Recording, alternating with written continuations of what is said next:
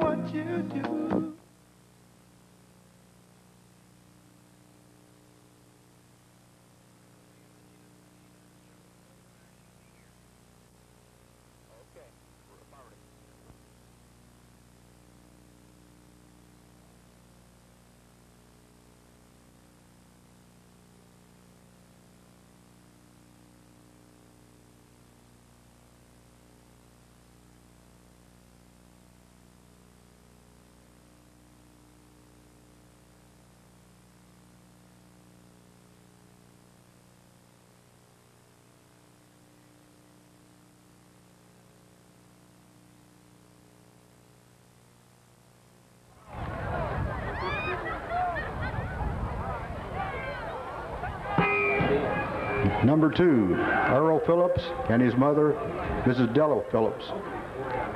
Number eight, Greg Latham and Mrs. Sharon Latham. Number 10, Brian Self and Miss Geraldine Self. Number 11, Jim Laughlin uh, and Mrs. Joanne Laughlin. Number 12, Scott Carmody, Mrs. Linda Carmody. Number 14, Greg Grant with Mrs. Hattie Grant. Number 21, Brad Anderson and Mrs. Sherry Coleman. Number 23, Matt Heckemeyer and Mrs. Betty Heckemeyer. 24, Gary Ellis and Mrs. Judy Ellis. 27, Ken Latham and Mrs. Alice Latham. Number 30, Derek Tennant and Mrs. Sue Watkins. Number 32, Brian Price, Price and Mrs. Peggy Price. Number 33, Keith Buck and Mrs. Judy Buck. Number 34, Barry Becker and Mrs. Carolyn Brownfield. Number 35, Mark Wiggins and Mrs. Dorothy Wiggins. Number 36, Mark Geralds and Mrs. Elizabeth Geralds. Number 40, Keith Blissett and Mrs. Maxine Blissett. Number 42, Chris Taylor and Mrs. Jackie Taylor. Number 45, Dennis Bean and Mrs. Mary Bean. Number 48, Mike Brashears Mrs. Sue Brashears. 49, Jim Perkins, Mrs. Shirley Perkins. Number 51, Mark Hamra and Mrs. Catherine Hamra. 52, Jeff Lester and Mrs. Marie Lester. Number 55, Chimp Thornton and Mrs. Lynn Thornton. Number 56, Ron Baker and Mrs. Margaret Lee. 57, Paige Blanton and Mrs. Michelle Blanton. Number 59, Robert Yoakley and Mrs. Marie Yoakley. N- Number 92, Ron Sells and Mrs. Annie Sells. Number 61, David Newton and Mrs. Bonnie Newton. Number 62, John Limbaugh, Mrs. Dottie Limbaugh. Number 63, Darren Eby and uh, Mrs. Diane Rogers. Number 64, Willie Gillespie and Mrs. Dorothy Gillespie.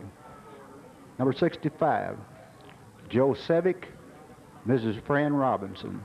Number 66, John McCauley, Mrs. Ethel McCauley.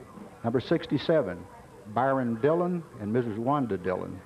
Number 68, Tom McClarty, Mrs. Betty McCallie. Number 69, Shelley Crowley, Mrs. Wilma Crowley. Number 7, 70, Jay Greenwood and Mrs. Mary Ellen Keene.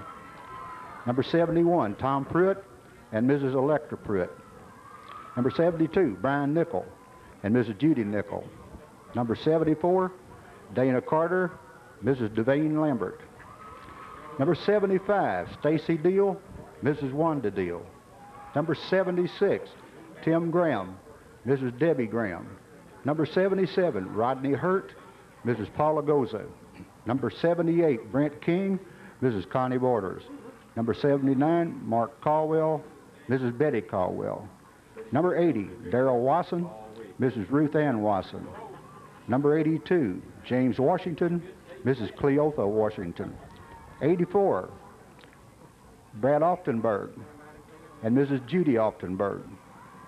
Number 85, Joe Fetch, Mrs. Pat Fetch. Number 86, Car didn't make it. 86, Tyrone Marshall, Mrs. Pearline Marshall. 89, David Freeman, Mrs. Pat Freeman. Number 95, Sean Eubanks and Mrs. Wanda Eubanks. Number 98, Andy Stone, Mrs. Charlotte Stone. Manager John Harris, Mrs. Linda Harris. Manager Mike Kochnower, Mrs. Lois Kochnower. Let's give all these moms a great big hand.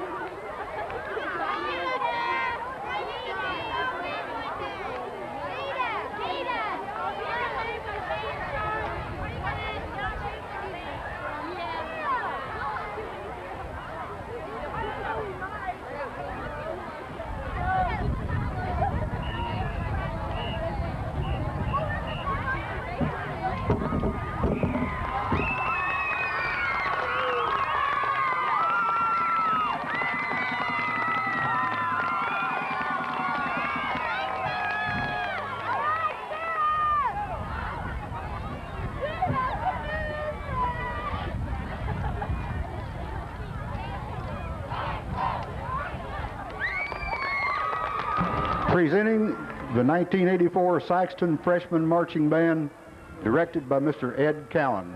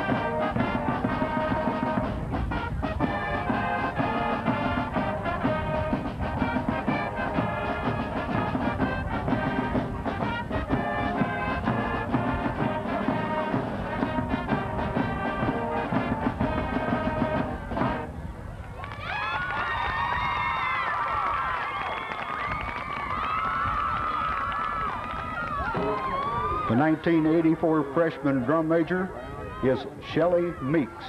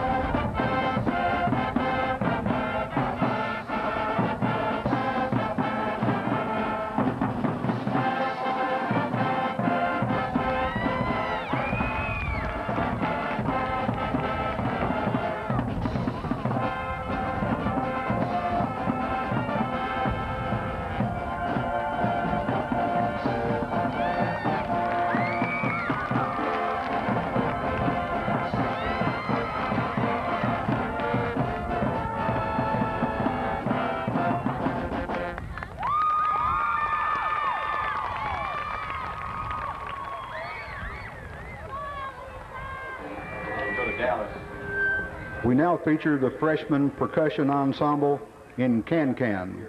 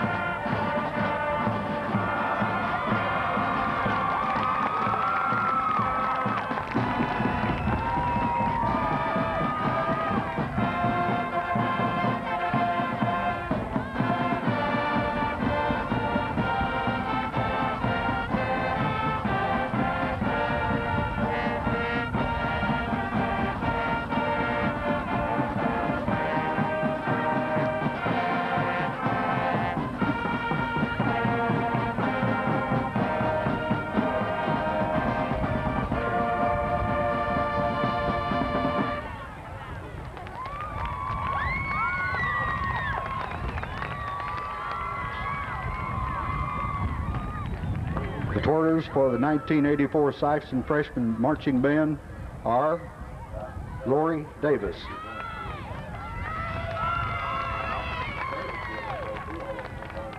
Sarah Jarvis.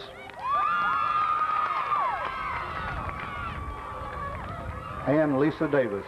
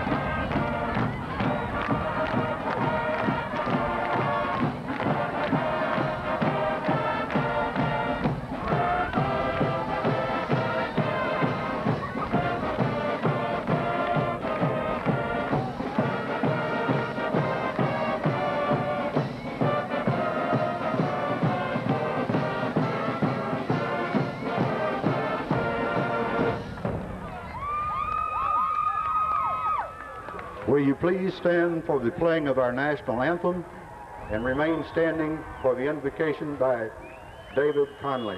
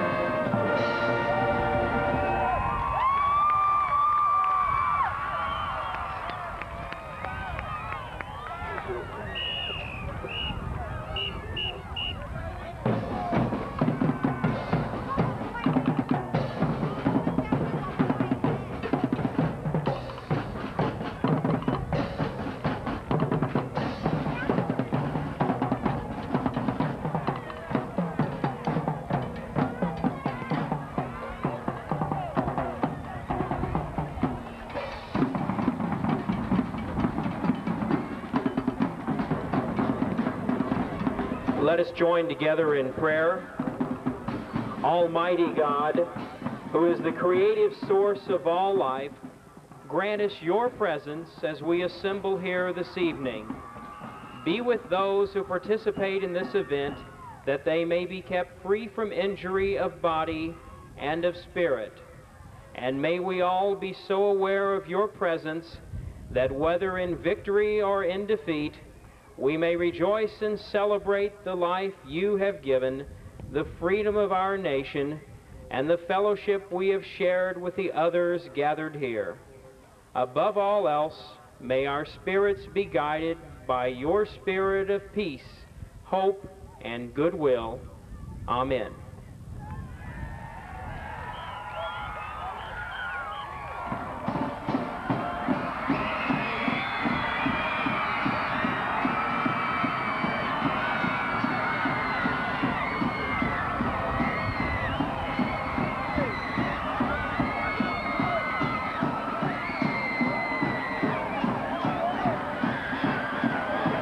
Evening, ladies and gentlemen, and welcome to Public School Stadium as the Sikeston High School Bulldogs take on the Kirkwood Pioneers.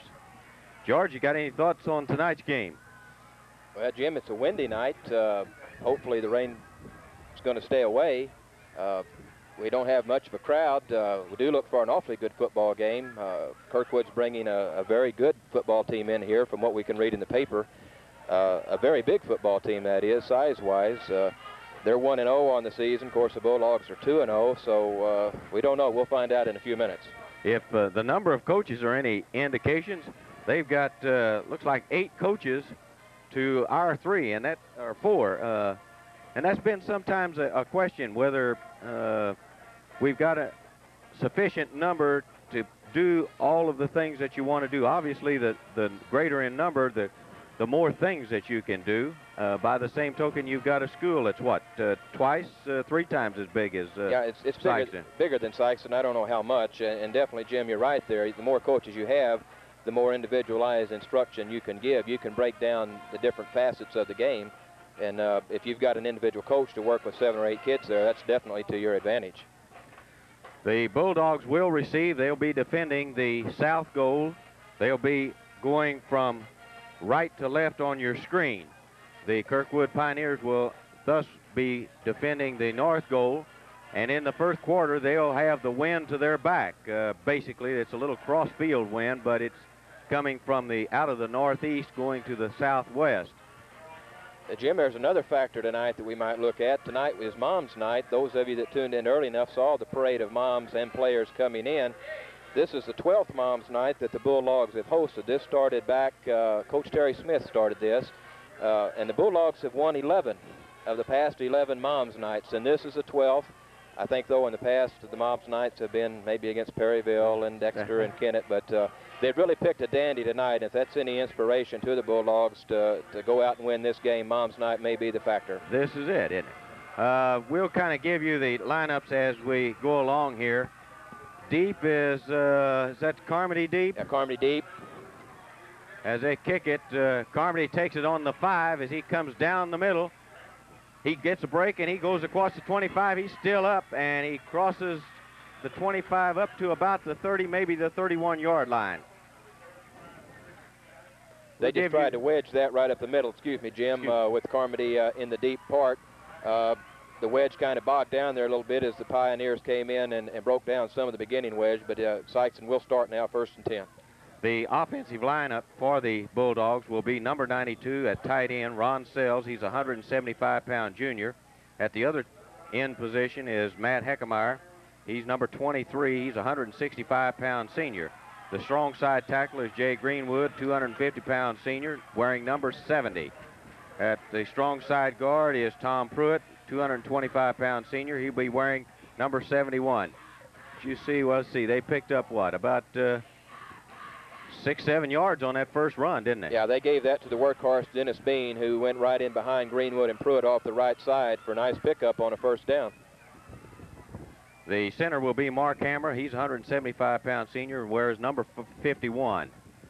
As the Bulldogs are in the I again, they give to uh, Bean. He breaks loose and he gets a first and 10 easy as he crosses the 50 yard line down Uh, I think he's about going to mark that at the not- 48. Yeah, 48 yard line, just shy of the 50. The weak side guard is Jeff Lester. He's a 210 pound senior. He'll wear number 52. Number 74 is the weak side tackle. He's Dana Carter. He's 215 pound junior. The wingback will be number 12, Scott Carmody, 165 pound senior. Wait a minute, we've got a timeout here. A little get Equipment readjustment, I think. Okay.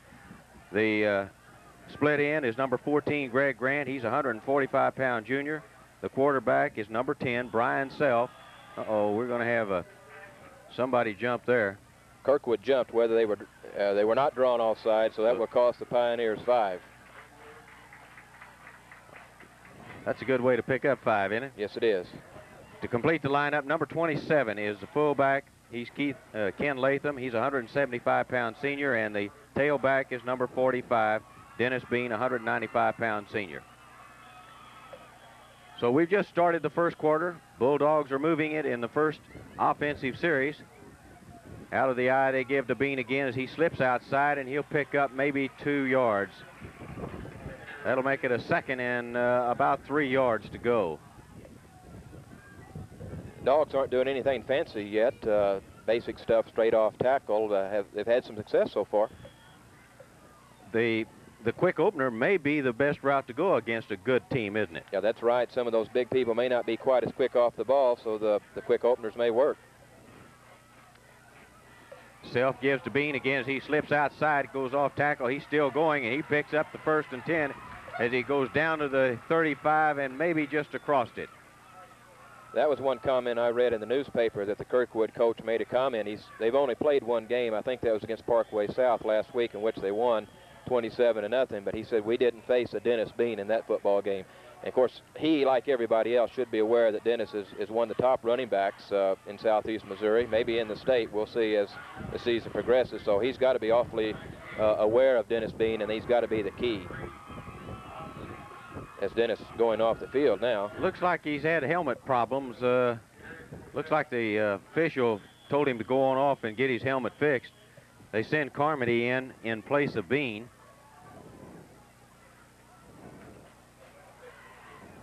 So Carmody will be the tailback as the Bulldogs are in the I. They're running an unbalanced line. Looks like a fumble there, and they're still after the ball. Self, uh, no, it looks like Kirkwood got it. Kirkwood comes up with a ball, number 86 for the uh, Kirkwood. Comes up with a ball. That's Sterling Hicks.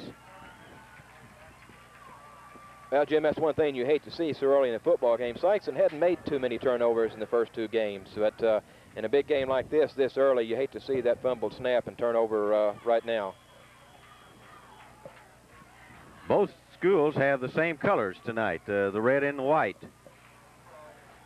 Kirkwood opens up with the uh, split backfield. Split on each end. We'll give you the Kirkwood offense here very quickly. And the give is to their tailback as he slants off the left side. Uh, size-wise, uh, the Kirkwood backfield is awfully big. That was Anthony Vaughn, a 205-pound halfback, which is a senior. Their quarterback has gotten all of the newsprint. Tom Paholski, uh, a major college prospect from what we read. I think the University of Missouri may be looking at him, but uh, he's a big kid. He weighs in at 200 pounds. They certainly are. And they're looking at Spraggins also. Uh, they like both of those boys.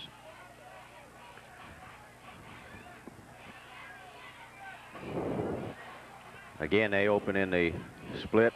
Looked like it was offsides. They split in on the far side. Looks to me like as he goes way down, but I believe it'll be called back because I believe the uh, split in on the far side looked like he started a little early. Yeah, it's a good gainer for Kirkwood, but uh, that was the split in did leave too quick, and that play will be called back. That will be offside. It shows uh, the offsides on Kirkwood.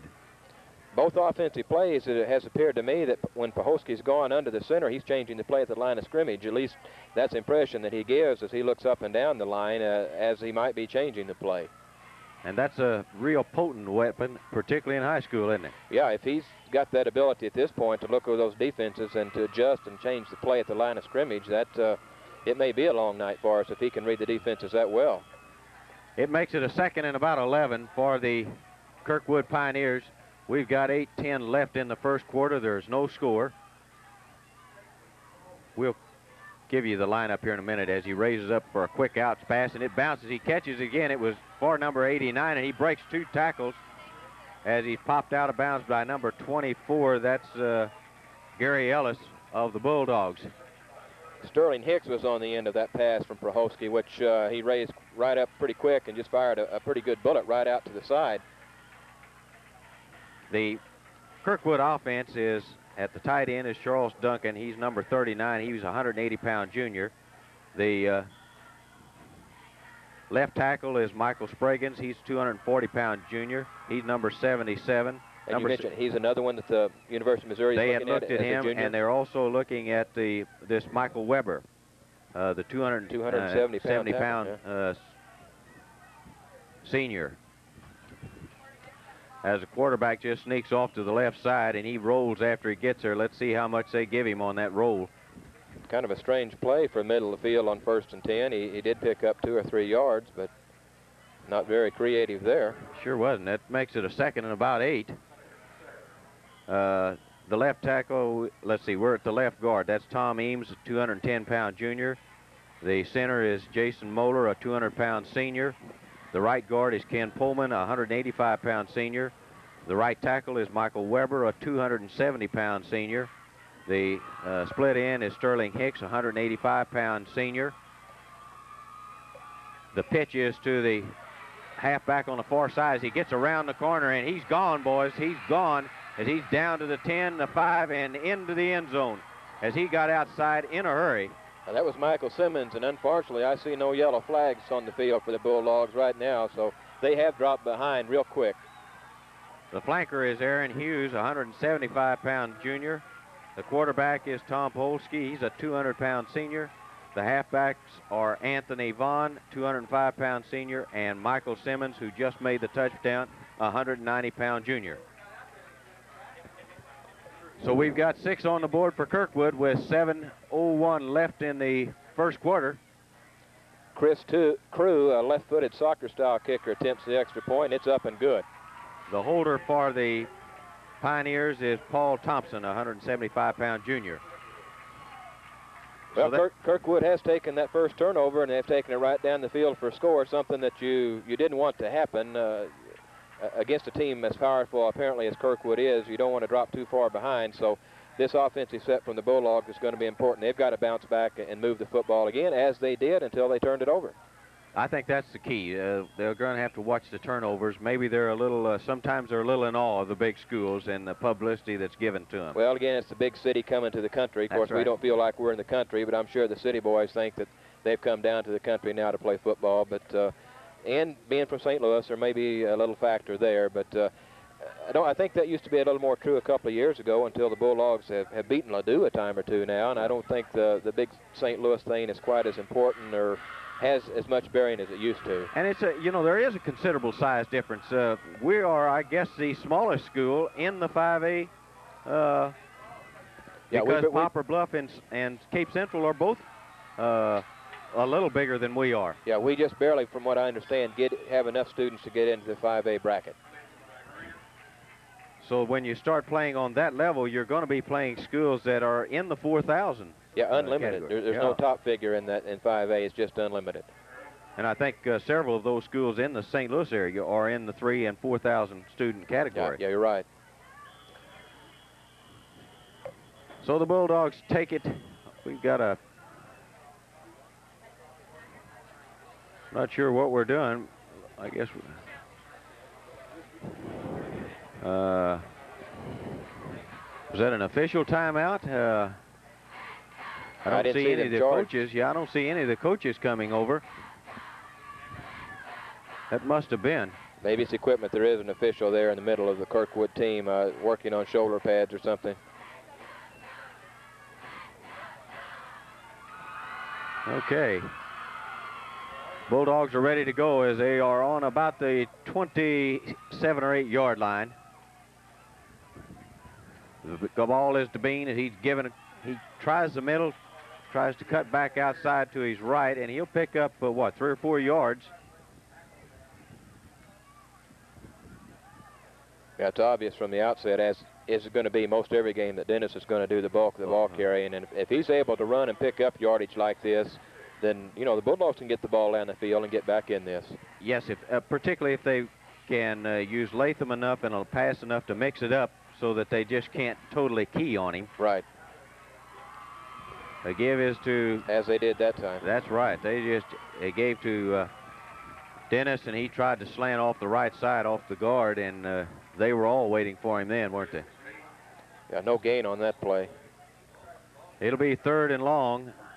You would anticipate a pass play here.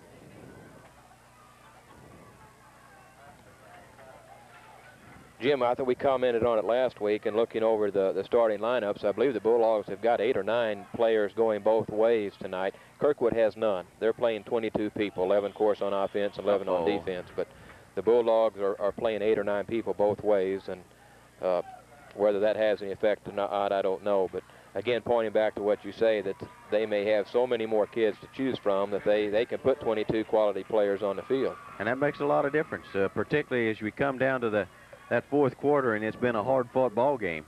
Yeah, you're definitely right. The one saving grace tonight could be the the little cooler weather. Uh, Yeah, it's not extremely hot. It's it's good football weather to play in. If the if the gale would just slow down a little bit. Yeah, the that would be the one problem that the Bulldogs would have is the pass would be going into the wind. Particularly trying to play catch up here.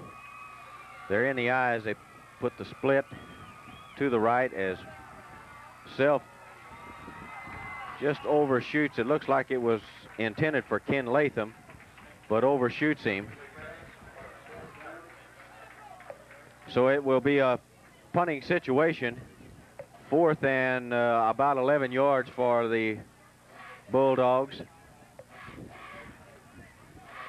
Carmody will be punting into this crosswind. Uh, he didn't have to punt too much last week. Uh, two weeks ago in Blytheville, he got off some good punts, but uh, with the wind tonight, this may be a factor. Yeah, that's this kind of one of those tough things. You keep the ball down while they they're able to uh, pick it up in a hurry and run. Now there's down, but he fell on it as he fumbled it. Greenwood was down there. Oh, excuse me, that was Dana Carter who was down there in a hurry. Number 22 for Kirkwood, Derek Scott, made contact with the punt, fumbled, but immediately got back on it. The Pioneers will start this series from their own 48-yard line. Good We- field position. Good field positioning.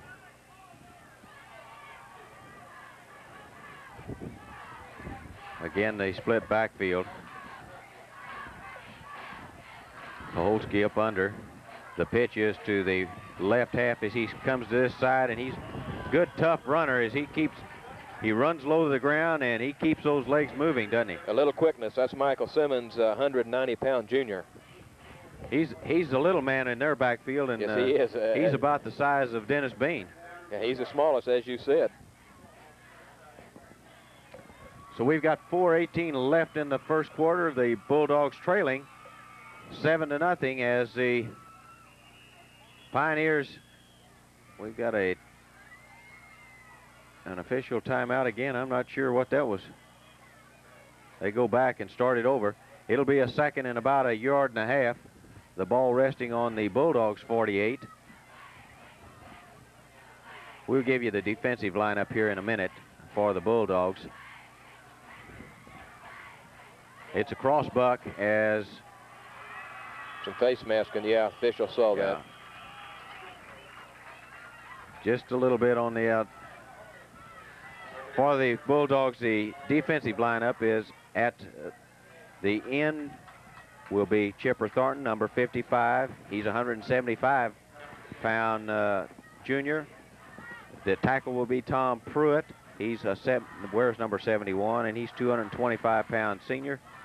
They call that a flagrant, don't they? Uh, made it a 15-yard penalty. I think I disagree with that a little bit. It was it was a face mask, which was obviously obvious, but I don't know uh, about the fragrant part of it. I think the one thing that they look at is whether or not it turns the neck. Uh, if it does that, if it's a twisting type of pull, that they, they use that as a flagrant. Right. Uh, again, the cross buck as it goes the other way, and they hit him pretty good on that side. Uh, 55, that's Chipper Thornton. And uh, could you tell who the other man was for the Bulldogs? No, I didn't see it. Didn't catch his number. They're Oh. running a lot of counteraction in there. They're faking the back to one side and giving the other back the other direction. Uh, it's a it's a an offense that the defense has to stay and really play their area and, and watch their keys. If they take the fake to the opposite side, which is what Kirkwood is hoping, then that's going to leave a wide open hole. They split their ends in the split backfield. Again, it's a as That they was stop Hamra. him right there. Mark Hamra, the nose Hamra. guard, made that tackle. And uh, uh,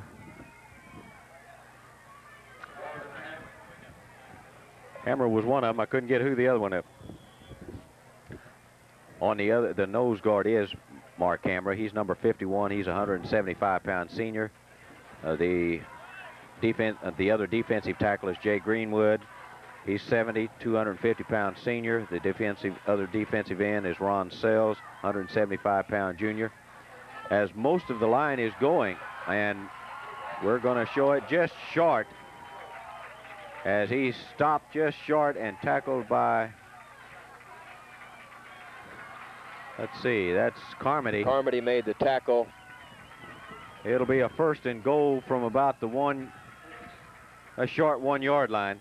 Sterling Hicks made that reception of a well-thrown Prohoski pass. The other defensive end is Ron Sales, 175 pound junior wearing number 92. The linebackers are number 23 and number 27. Number 23 is Matt Heckemeyer. The linebacker and number 27 is Ken Latham. The uh, monster man is Gary Ellis. He's number 24. The safety is Brian Self. Carmody and Grant are the cornerbacks. Prohoski tried a quarterback sneak. They stood him up, I think, right, right at the line of scrimmage, and I don't believe he got in. And marking it second down. I was just checking here. I think Chipper Thornton is the only, uh, in place of Dennis Bean, is the only boy that's not going both ways out of the That- starting lineup. Uh, I don't believe Dana Carter Or is and in Dana there. Carter. That's correct. Of course, I think Dennis now is, is on the far side in the secondary covering. And he takes the place of Gary Ellis, doesn't it? As he goes right in. That's number 31, 32.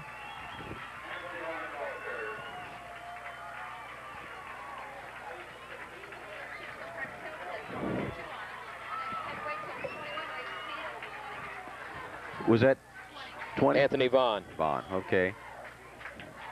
A little difficult to spot the number there. As George told you, the kicker is a left-footed kicker, soccer style. Up, and it's good. That wind is just right for him in that, in that particular kick a- in that goal. Yes, it is. That uh, it's blowing at a good angle for him, where he can just get the ball up and let the wind. Of course, he doesn't need much drift there. It's a strong leg is what he had, but he drilled it through. With a minute 14 left, the Bulldogs are trailing 14 nothing. Well, it's got to be a new feeling for them, Jim, to be down 14 to nothing. Uh, they were down six to nothing last week early against Charleston and rebounded very good and came back for the the big win, but uh, they've got it yet to do tonight. This will really be a test for them. And that's it's good. Uh, a good test in the first part of the season. Uh, you notice that they're still kind of trying to uh, gel a a starting lineup as there's quite a few changes from our previous lineup of last week. Uh, Well, you had hoped there would be as much improvement between game two and three as there was between one and two, but uh, there was a vast improvement last week over the game against Blytheville. Uh, of course, our opponent tonight has got a lot to do with that. that's correct. I Good kick into the end zone. into the end and zone, out. and they'll let it. It'll be a touchback. Anthony Vaughn, who scored the touchdown, just kicked it out of the end zone with the win.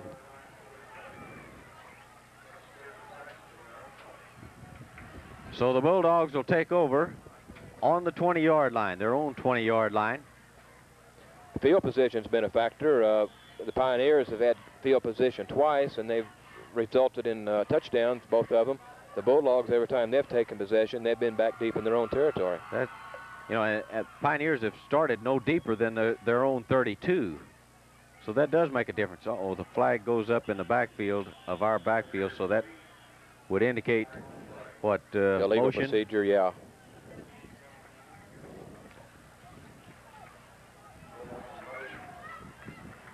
Looks like uh, it'll be against the Bulldogs.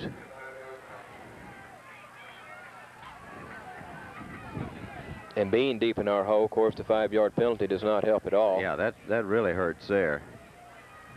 As it'll be first and 15 from the 15 of the Bulldogs.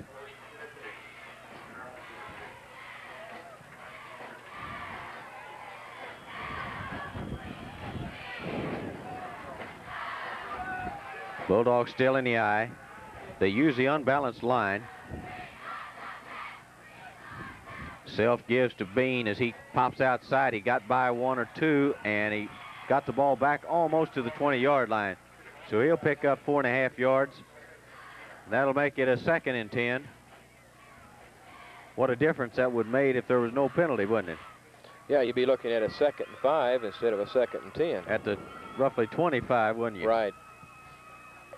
We're down to about a half a minute left in the first quarter as the Bulldogs trail 14 to nothing.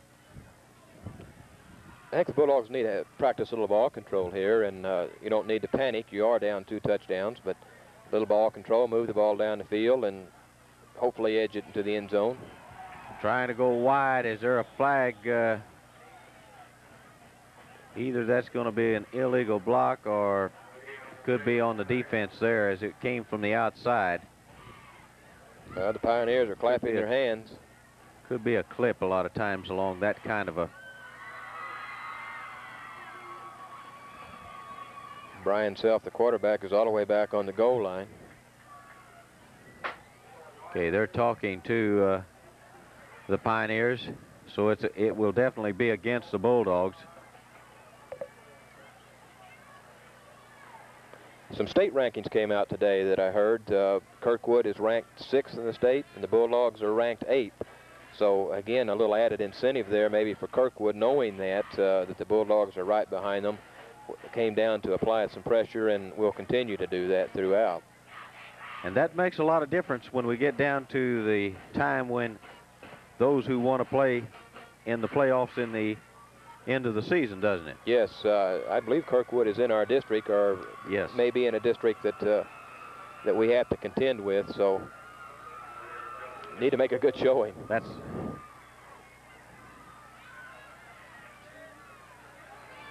it's a very complicated system that they have uh, in in the points that they allot for various things. Uh, won and lost, uh, the strength of the schools, uh, strengths of your opponents. Looks like a little cross Oh. block and a fumble. Uh-oh, picked right up, and he's going to go all the way in. I heard a whistle. Thought I heard a whistle. And that's the end of the quarter as they make the touchdown in the quarter. Uh,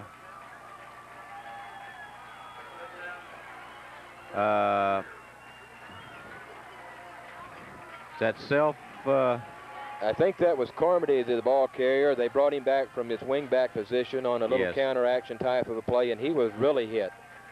Uh, maybe he got a helmet right on the football, but anyway, he lost the ball, was picked up and run in by Kirkwood. And there's that left-footed kick right there again, Jim. I'm getting tired and gets to kick right with a win. That last second uh, makes a difference there. So that'll make it 21 to nothing as we end the first quarter for the Kirkwood Pioneers. Can we go back in any way and replay this first quarter and, and try to do a few things differently? Well, the Bulldogs will really have to pull themselves together now and uh,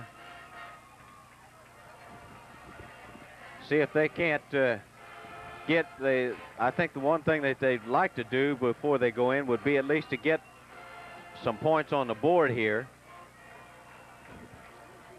Yeah, uh, the turnovers again, we, we mentioned a minute ago, uh, two turnovers have resulted in, in touchdowns. Uh, two fumbles that Kirkwood has, one they picked up and ran it in, the other they took numerous plays, but finally ended in the end zone with it. And a good football team uh, will take advantage of turnovers, and that's just what's happened here. Yeah, I think, and that's a key. Uh, and I think what you're saying there, a good football team does take advantage of those turnovers. Well, we've got the win this quarter. Okay, Bean is going deep this time for the Bulldogs. The up men will be, uh, is that 21 on the far side? I I think that's Ellis 24 and Greg Grant this side this 14. side 14, okay. A lot different kick there. Squib as Kenny Latham picks it up and he twists and turns and gets up to the 35 yard line. A very short kick. Uh, I don't know if he just didn't get his foot into it or whether the wind had that effect. It didn't look to me like it got that high. I don't think he, he met it that solidly. Good field position anyway for the Bulldogs starting out here.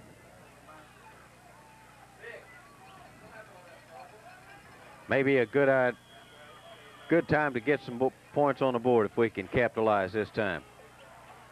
The Bulldogs are on the near hash mark as they go out of the I, split both sides. Self, the quarterback, he gives to Bean as he just lucks his head and goes right up through the middle. And he'll pick up uh, three or four yards. Ron just showing some stats here. Total yardage in the first quarter, Kirkwood with 108, the Bulldogs with 35, which is a direct result of the 21 to nothing Kirkwood score. Bulldogs penalized 35 yards, Kirkwood penalized for 10. Okay, the man goes into the slot on the far side. The split is to the far side as the Bulldogs stay in the eye.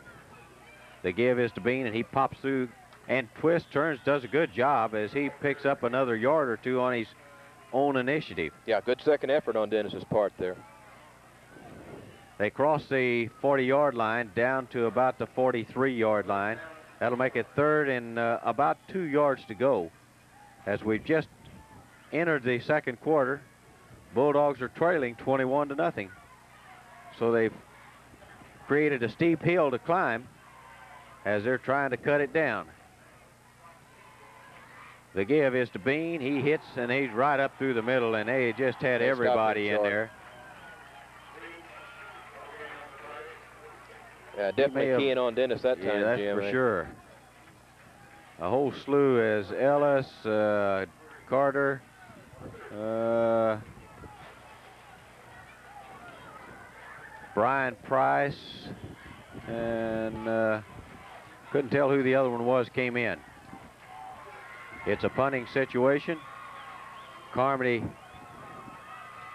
deep to punt. Good center. It's up.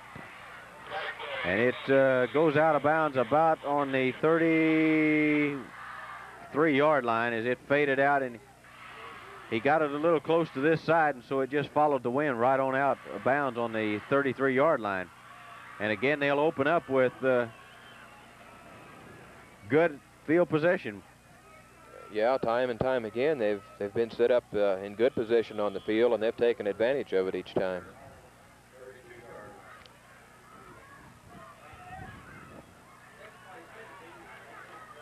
They haven't run a real imaginative offense yet. They, No. They've got a couple of kids in that backfield that run hard and do have some speed.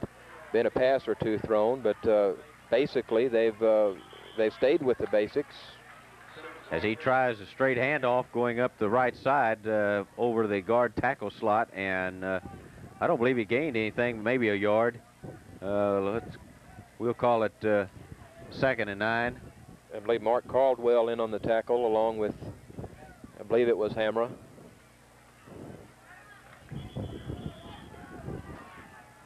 Let's see what we're going to do here.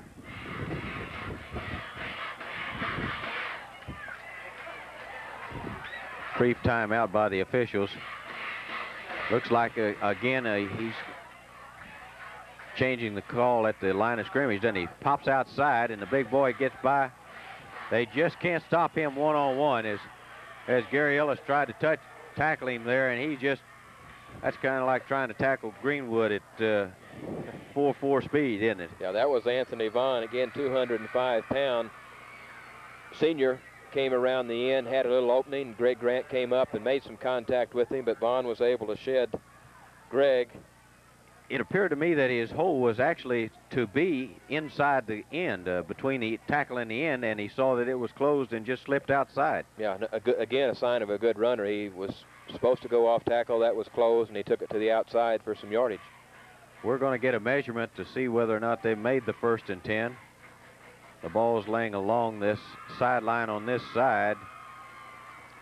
I think Jerry. Dyer and crew had to, to run all the way across the field on that. Old Jerry's run those chains for many, many years. Long time, hasn't he?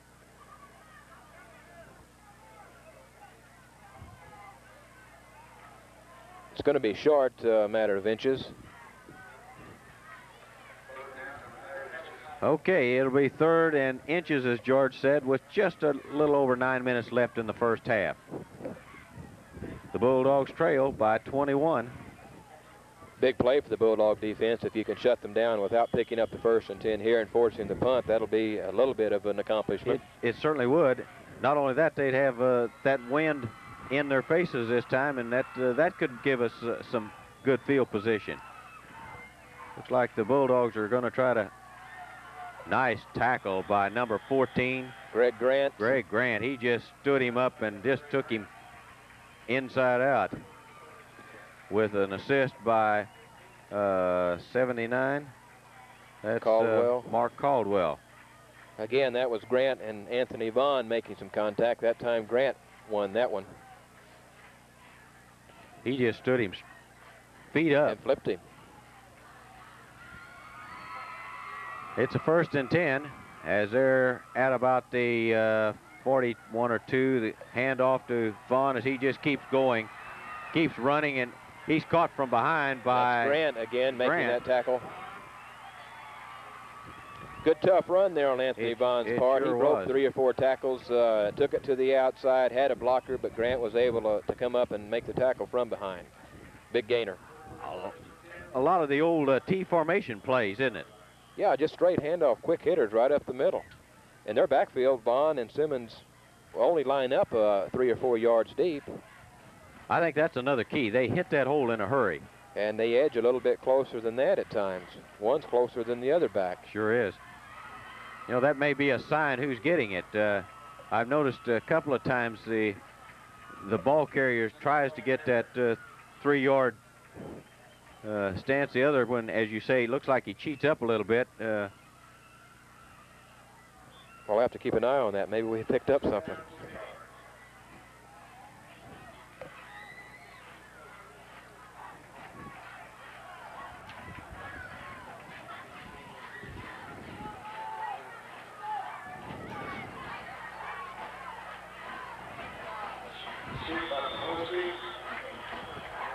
Quarterback kept it himself. Uh, pick up of a couple of three as they go across the 25 down. Uh, well, they put it right on the 25. Say his knee touched there. Did he picked up maybe a half a yard? It'll be third and five from the 25. again, rather a strange call in that uh, That particular situation, down situation.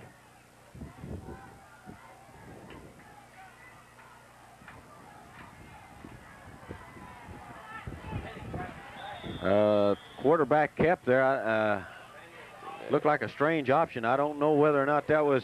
or quarterback type of a draw. One of the Bulldog uh, defensive tackles, I believe it was Greenwood, maybe came off the line real aggressive that time and jammed that play up. So that'll make it fourth and about uh, three and a half. Uh, looks like the board says two, but that looks closer to four yards to me than it does. Yeah, that's that's an awfully long two. Yeah.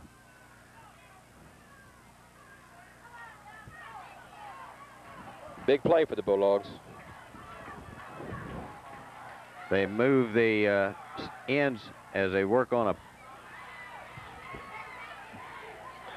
Second effort, I believe he may have gotten the first and 10. It's going to be close because it depends on where they put his knee down as to where, whether or not he gets that first and ten.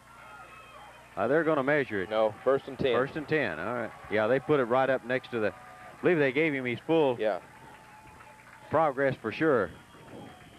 Again, a good ball carry, and he just stretched himself out as he was going down. Vaughn comes out of the game for Kirkwood. As we're coming up on six minutes left in the half, the Bulldogs are trying to make a valiant stance here to keep this thing from going almost out of reach. Uh-oh, we've got a flag, and somebody apparently, that could be a, maybe failed to put their mouthpiece in.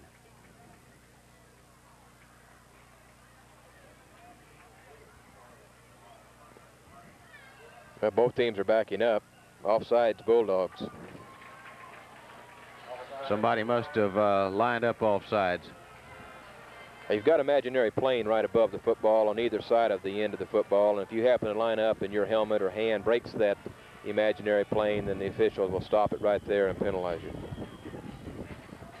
Something we didn't need at this point. Yeah, in, in effect, that gives you, uh, instead of first and 10, you're talking first and five.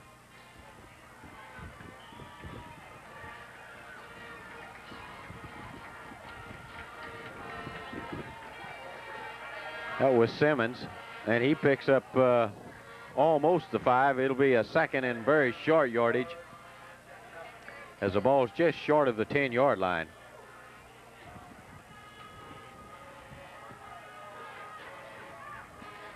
What do we get? The uh, looks like the uh, quarterback may be changing signals here.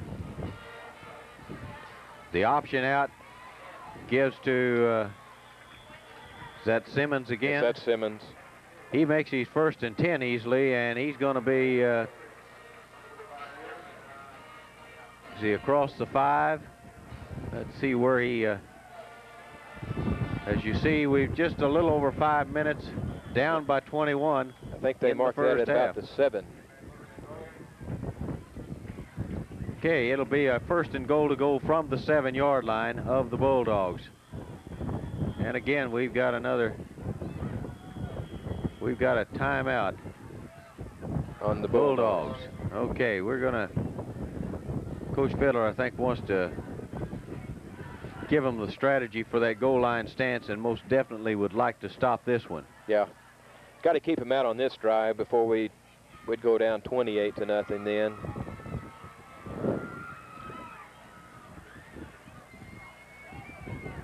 As we've said in previous games, uh, the, with the rule change, the coaches are allowed to come on the field and uh, talk to the players during the timeout.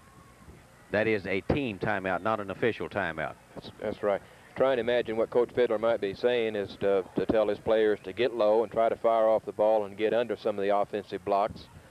Uh, play your positions, not let the offensive people get to the outside. Of course, a lot of instructions you can give down there at, at this point, but carrying them out is something else. You would want particularly the from tackle to tackle to really give that hard charge, uh, hoping you might clog up even the handoff. Yeah, Kirkwood has run very well from tackle to tackle with, with Vaughn and Simmons on the quick openers, and uh, they are opening so quick. It's just a matter of, of not letting that offensive man blow you off your defensive position, which is what's taken place so far. So with uh, just under five minutes left, the Bulldogs trailing by 21. We've got a timeout by the Bulldogs. Kirkwood has the ball. It is a first and goal to go from the Bulldogs seven. We've got a stiff breeze blowing from the northeast to the southwest. As the Pioneers are ready to start, the give is to, that was to Vaughn, wasn't it? Yes. And he just pulled his way down to looks like about the two or three yard line. Now, he was met in the hole by a couple of Bulldogs, but he had up enough steam, was able to drive forward and, and end up at about the two or three. And that's just, that was just pure power there. Yes.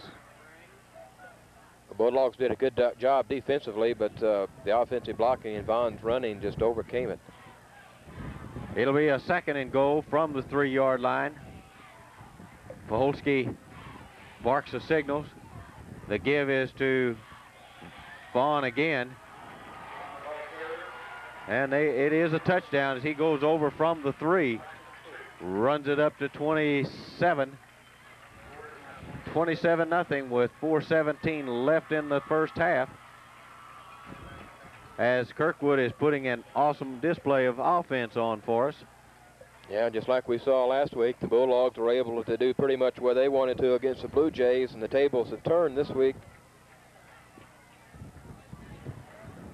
The left-footed kicker ready, down and up, and it's good.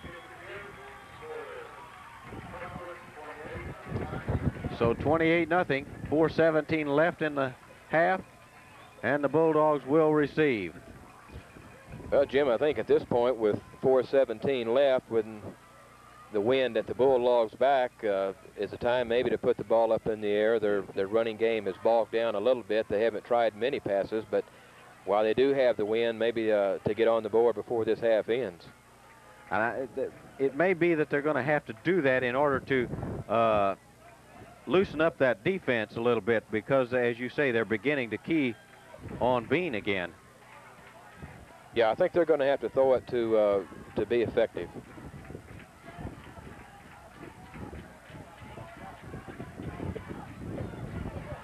So with 4:17 left in the half, the Bulldogs are ready. Bean is, no, that's uh, is Yeah, I believe that's Carmody's back. Carmody's back at the uh, deep position. The ball is short. And it's Was that 32, 32. Brian Price? Yes. Took that kick off and returned it. Brian Price is a 180-pound sophomore. And he plays in the line even, doesn't he? Yes. Very short uh, kick. Uh, he advanced it to the, it's almost to the 30-yard line. Let's see what approach the Bulldogs take with four minutes remaining. The man's in the slot as Self goes back to pass. Comes on deep. Uh-oh, we've got a trip, and it's going to be right there, right there. Offensive pass interference. I mean, a defensive pass interference. Uh, Carmody was trying to make a cut to the outside, and one He of the Pioneer tripped. defenders uh, did bump him. Bump That to may the be the break that we need if we can capitalize now. That'll put the ball up at about the 44-yard line of the Bulldogs.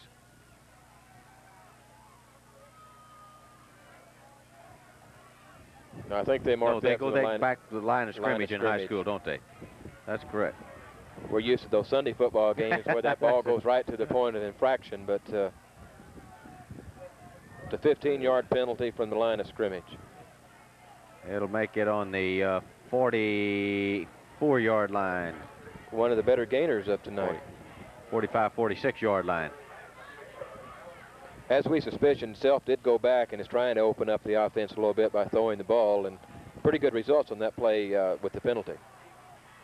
I don't think Carmody had a shot at that pass. I don't that was either. a good thing that, uh, uh, that uh, now they moved the ball back a little bit. They didn't stop and pick these officials up on the way down here, did they? uh, it is at the 44 now. We got about a 17 to start with, didn't we? Mm-hmm.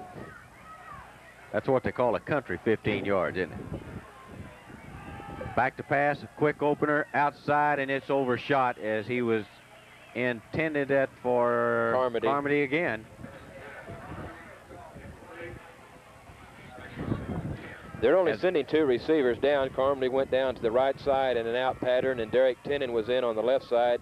He went down on a straight fly pattern, so they're keeping most all other receivers in to help block. And he was getting some pressure from the right side uh, of the defensive line anyway. If uh, that would bend to the quarterback's left. Of course, as we suspected, Kirkwood knows that Sikeston's having to throw, and they're putting a lot of pressure on self. Like Uh-oh, football- an exchange as they really came into. They didn't even get a chance to exchange it. It's a fumble there, and they really flooded that. They're trying Uh, to set up a draw, and I think Kirkwood bought all their linebackers and their secondary, and they had more people in the backfield than the Bulldogs did. As a result, the Bulldogs do fumble, and Kirkwood has it again with 3.38 remaining. Can they get on the board again, you think? Well, uh, hope not. well, this is where the Bulldogs are going to have to really buckle up. Uh, you know, it's kind of a, a test of the willpower now. Hitch it up a little bit, dogs. And again, uh, that was in the crossbuck as you saw the the halfback on this side got the ball. He was about a yard deeper than the uh, than the boy receiving it. It appears where the quarterback, uh, where the halfbacks are not handling the ball, they'll be almost even.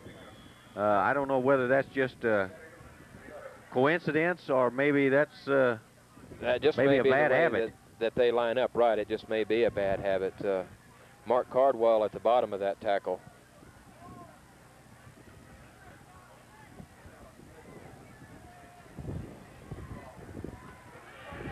Quarterback fake, long, deep. It's going to be overshot uh, as the intended receiver was number 86. Uh, Sterling Hicks, 185-pound wide receiver. That's been uh, his target both times, hasn't it? Yeah, Poholski, what he put the ball up in the air, uh, some 40, 45 yards against the Against wind. the wind. Yeah, well thrown football. Well, I've been impressed with him. I- I really have. Uh, he's handled this offense real well, uh, and I think there are numerous plays when he goes to the line of scrimmage and is, ch- is changing the play after he looks over the defense as he studies it right now. And now I think he's changing the play. He fades back to pass. Shoot uh, and it- Overthrows Hicks again, and it, who is really belted by Gary Ellis. that's a good shot. Yeah. Uh, you make that in, uh, remember, and hopefully he'll he may take his eye off that ball and watch you the next time. I was impressed uh, again with Poholski. He gets rid of that ball in a hurry, uh, set up quickly, and got rid of the ball in a hurry. Uh, number 70, uh, which is Jay Greenwood, was giving him some pressure from the far side. Yeah, he does set up quick, awfully quick feet to get back and, and set up and to look downfield and pick up a receiver. Looks like they're going to punt. The first uh, punt of the night for Kirkwood. Uh, short guess that's a punt, punt. and it's uh, low. And uh, they'll let it roll, and it'll roll down to about the 16-yard line. Again, that's about as good as you could expect uh, against the wind. Uh, 224, you're up by 28, and it's not good field position for the Bulldogs. Yeah, for the first time, the Bulldog defense did hold and for, forced Kirkwood to punt. Now, back deep in that territory, I don't know if, if you go back and try to pass or you just try to run it out and not fumble and run this half out. Yeah, this is a question of uh, do you use some imaginative plays or do you look like a little uh, delayed draw of, of sorts? Uh, but Yeah. they read the play very well. Uh, he he gained a little, but uh, not much at all. It'll be second and a long nine. Pretty safe play in that position of the field. Uh, quarterback goes back, and he did give it to Bean on type of a draw play, but Dennis has really belted it at the line of scrimmage.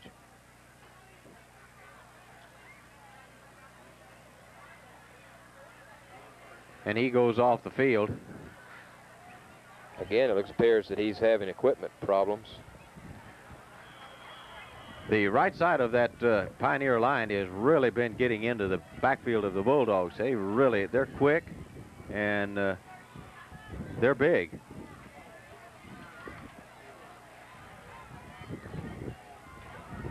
As we roll to this side, it's to Ellis, and he gets it on the flare pass from uh, Self to Ellis, or Greg Grant. excuse me, Greg Grant.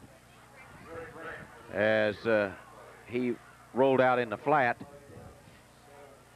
Pass was completed and a pretty good pickup. Uh, you did notice, oh Jim, that uh, as soon as Grant caught the ball, he had three Pioneers right, Right, right. around He to make did. the tackle. And they're uh, giving a little bit, but they're not going to give the big one. third in about uh, three yards for the Bulldog. This could be the key down for the Bulldogs. They need this three yards. Under pressure, Uh, no way, as he just hung that ball up and the angle, he was intercepted.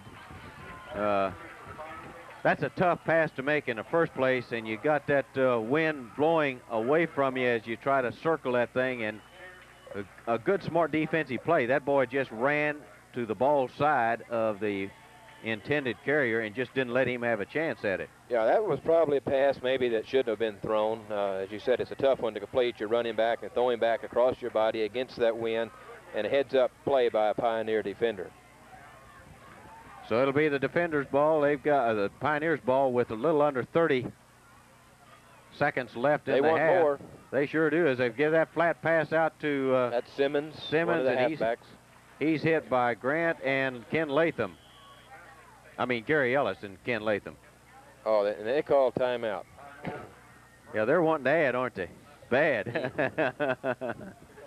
now, again, you know, we say this, and a lot of times we give coaches uh, a little bad word because of this, but one of the problems with this is the score counts in making up the points for playoffs. Yeah, that's and right. so many coaches, not that they want to run the score up, but they do it simply so that they can get on the playoffs. It, it could make a difference in a tie situation. And in past years, we've had some situations where that has made a difference. It, Yeah, that is one of the key factors, as you mentioned earlier. That's it's a very complicated point system, but uh, score is one thing that uh, you beat somebody by X number of points, then you that's just another point or two on your side of the ledger. So, it, although it appears to us or to me at this point they're trying to run the score up, there may be a better reason than what I can think of right now for doing it.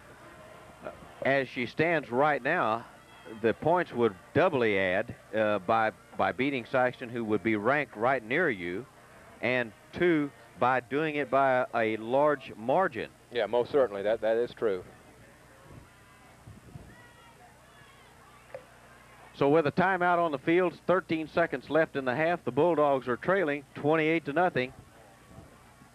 Coach Fiddler trying to get the spirits up on the boys, uh, get them to dig in and uh, hold here, and we'll go into the halftime with uh, 28 down and come back uh, roaring, and maybe we can get 28 by The second Uh, half's ours, huh? fourth quarter and uh, go into the fourth quarter with a tie ball game. And into overtime. going up high and again a primary uh, there is uh, we're going to have pass interference but that was because the defender never kept his eye on the ball did Right. He had his back turned. He didn't know where the pass was at all. as a matter of fact uh, had he had he not even uh, bumped the- defender he could have still been called for blocking Or uh, shielding. shielding uh, okay we've got a double penalty Ron was indicating we may have an offsetting penalty oh both of them are on us okay. Just trying to get a little hope here. Then these officials did come down here on the bus with Kirkwood, huh? okay good. There we go. Okay offsetting penalties? Holding Kirkwood, pass interference on the Bulldogs offset. that could be a good break. And there's that left-footed place kicker out going to attempt a field goal. Going to try the field goal to put uh, points on the board again uh, with seven seconds left. It'll be a uh, 39-yarder against the wind, 39 yarder against the wind. or into the wind. Yeah, the way that uh, the way he kicks, it'll be almost directly into the wind as it makes his hook, won't want it?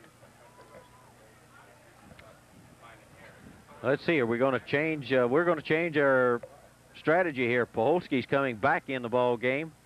Coach coming on the field. Uh, they picked up the tee, so maybe we're going to have a. Maybe three wasn't enough. He's going to try to put it in the end zone one more time. Yeah, that could be one of two things. Uh, he's going to play it well. If I don't get it, I'm not going to run the score up. Uh, if I'm lucky, I'll just I'll have another seven. Right.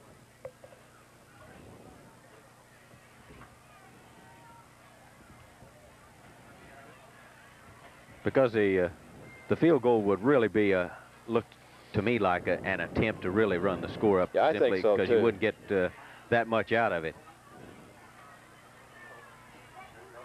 So with seven seconds, the uh, Pioneers will have a second and about uh, eight yards to go. The Score being 28 to nothing as Fiddler backs off the field, gives a last minute shout of encouragement, and we're underway again as goes back, passes to the man in the flat. There's a flag down, complete pass as he's still in, and he'll go into the end zone. He just absolutely got away from everybody. And let's see, wait a minute, we got a flag, so let's see what we've got. A holding, Holding holding against Kirkwood. No touchdown. That will nullify that. But that will also give them one more play, No, will it not? that- that will was an the- offensive play. That will end the half. It's an offensive place, uh, penalty on the offense. And uh, if it had been a defensive, Defensive. penalty- penalty, then they would have had this, the play again. That should be the half. Yeah, that that is the half. Some discussion about that. Uh, I think that's what they're trying to do. Yeah. Okay. Well, I think the coaching staff's got uh, a little job at hand now is to go in and, and talk to your players and, and, try to keep them fired up, and uh, as I'm sure Coach Vickery and his staff will attempt to do and try to make some corrections. Uh, I, I, really don't know what uh, what you could tell your your players at this point other than to, to keep your head up and come back and, and just play a tough second half. And that's what's real tough is to really encourage them to come back that second half. With uh, halftime, 28 to nothing, Kirkwood Pioneers. We'll be back with you in about uh, 10 minutes.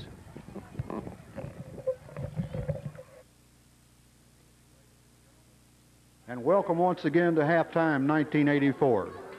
The Sikeston High School Department of Music is proud to present the 1984 Bulldog Marching Band.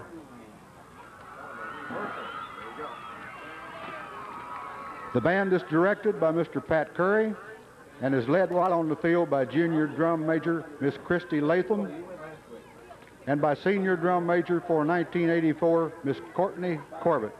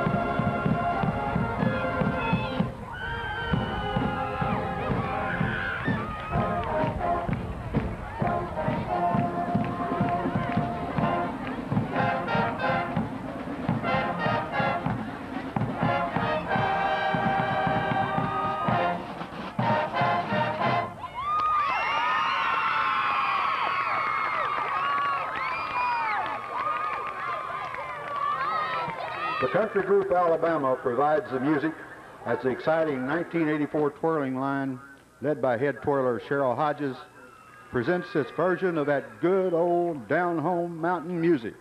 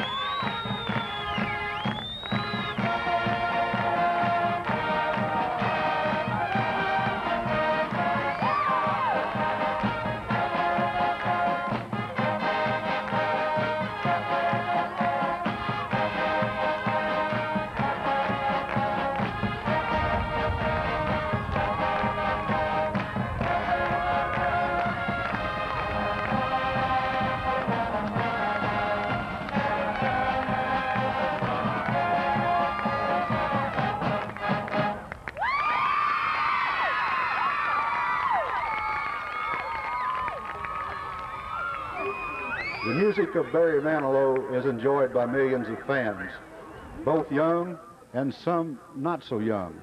Watch now as the band interprets the lovely ballad, Even Now.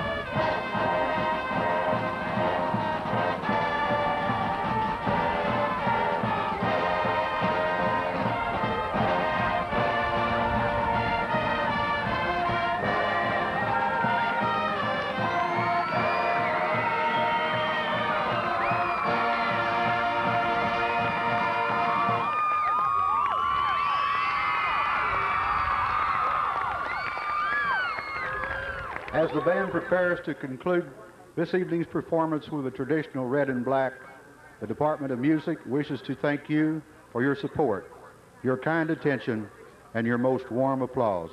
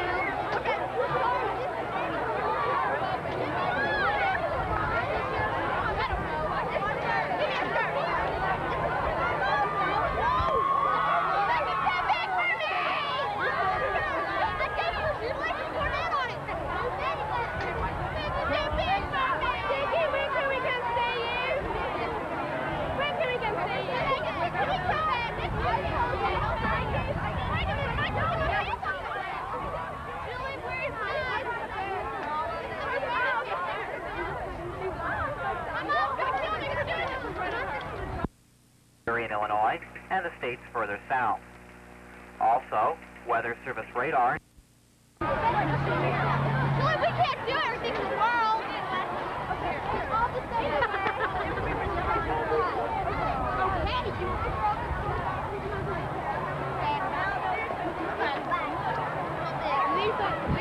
Welcome back to the second half of the Sikeston Bulldog Kirkwood Pioneer game as the Bulldogs are trailing Kirkwood 28 to nothing.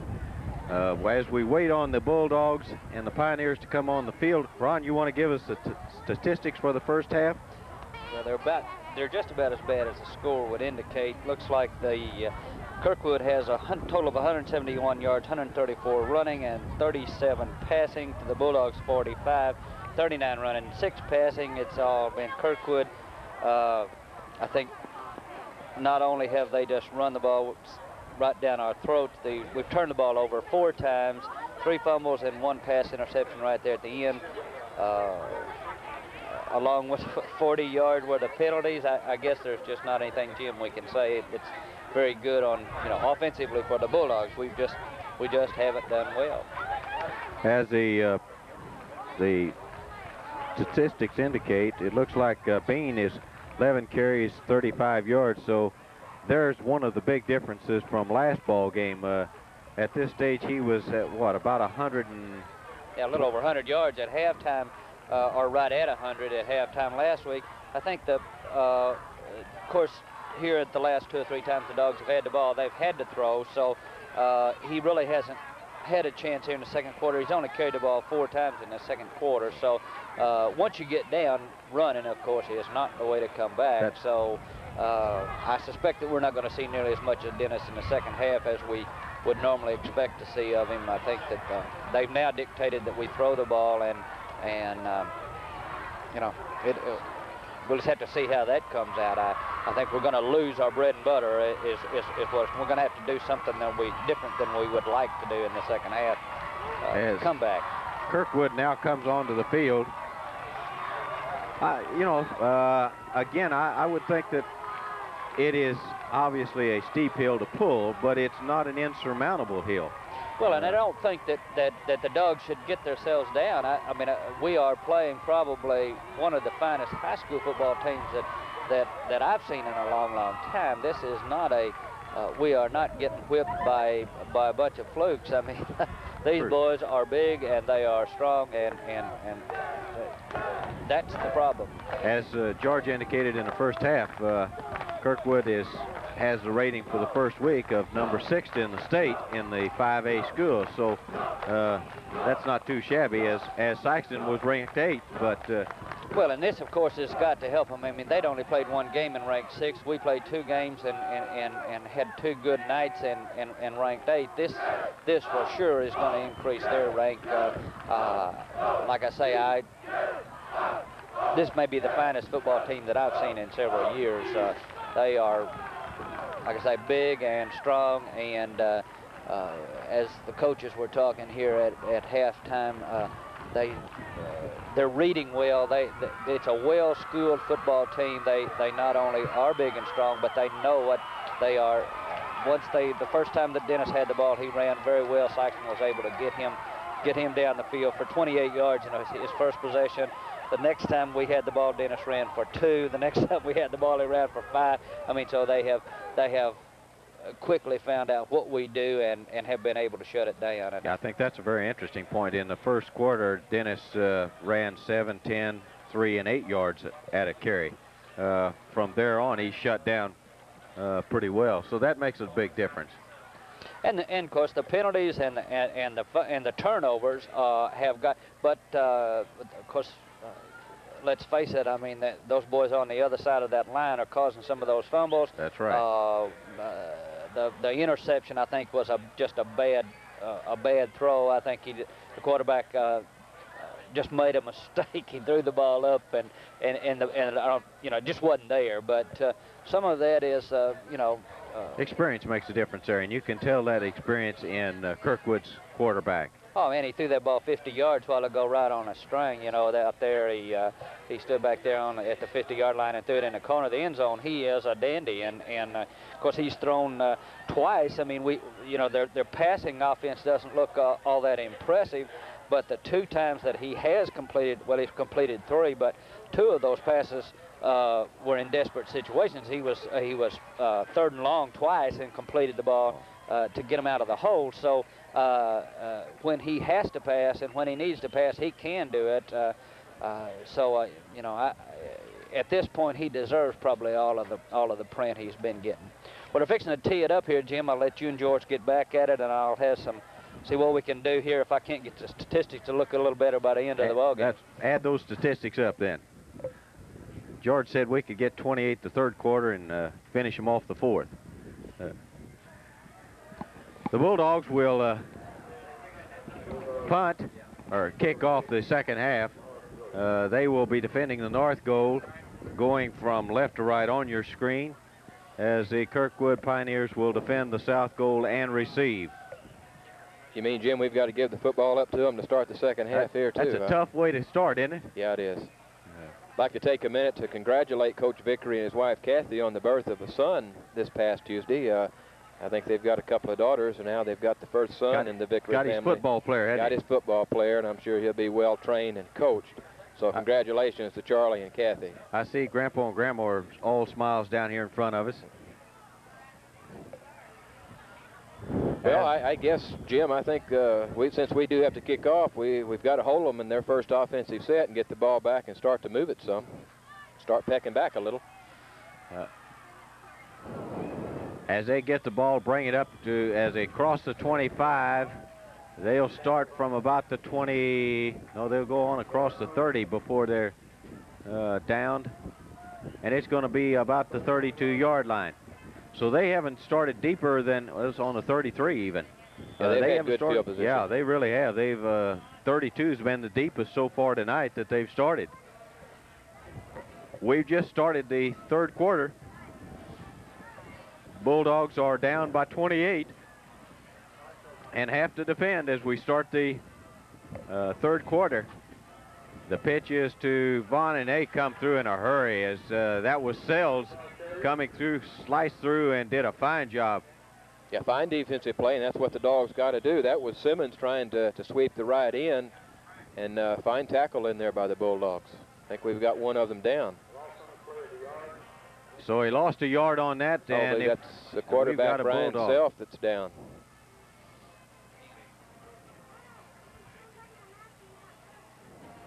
That's one of the risks you run when you got to play them both ways, isn't it? Yes, it is. That's uh, particularly he being the quarterback uh, and playing in the secondary on defense, which at the strong safety or one of the safety position that he plays, that uh, is not one of the the more positions that is prone to being injured unless, like he did on that time, he did come up and was in on the tackle and. Of course, it was a pile-up, and I don't know. It looks like they're looking at a knee, which is, is not good at all. And uh, one of the things we've got to look at is our backup quarterback is also on defense. Yes, that's Scott Carmody or Greg Latham. Yeah, I think uh, I don't know who he might go to when the Bulldogs do get the ball back. Greg like Latham did helped. come in. And Off quarterback last last week at the end of the Charleston game, so that doesn't look good at all for the Bulldogs.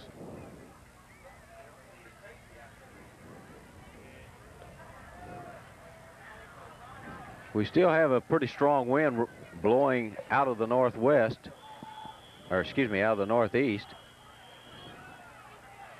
Dennis Bean in to replace Self in the secondary. Okay, the uh, he'll be playing in the safety position.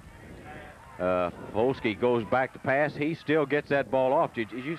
He had two uh, bulldogs on him. He stayed up, got his arm up, threw it, and uh, was right around. Was it completed? It was a Yes. completed pass. And I believe it'll be right at a, just short of a first and ten. Pruitt was in the backfield making contact with Poholski, and I think Hamra was in there, but uh, he shook them and was able to, to roll a little bit and completed the pass. Impressive quarterback. Yes, he is. Uh, he's got size, he's got strength, and he looks like he's a smart quarterback. Yeah, definitely smart. the power I. And that looks like the quarterback. Did he give it to the up man or did the quarterback take it? I think he handed the ball off, but hard to tell. No, it was Poholski who's took it. And he got the uh, first and 10.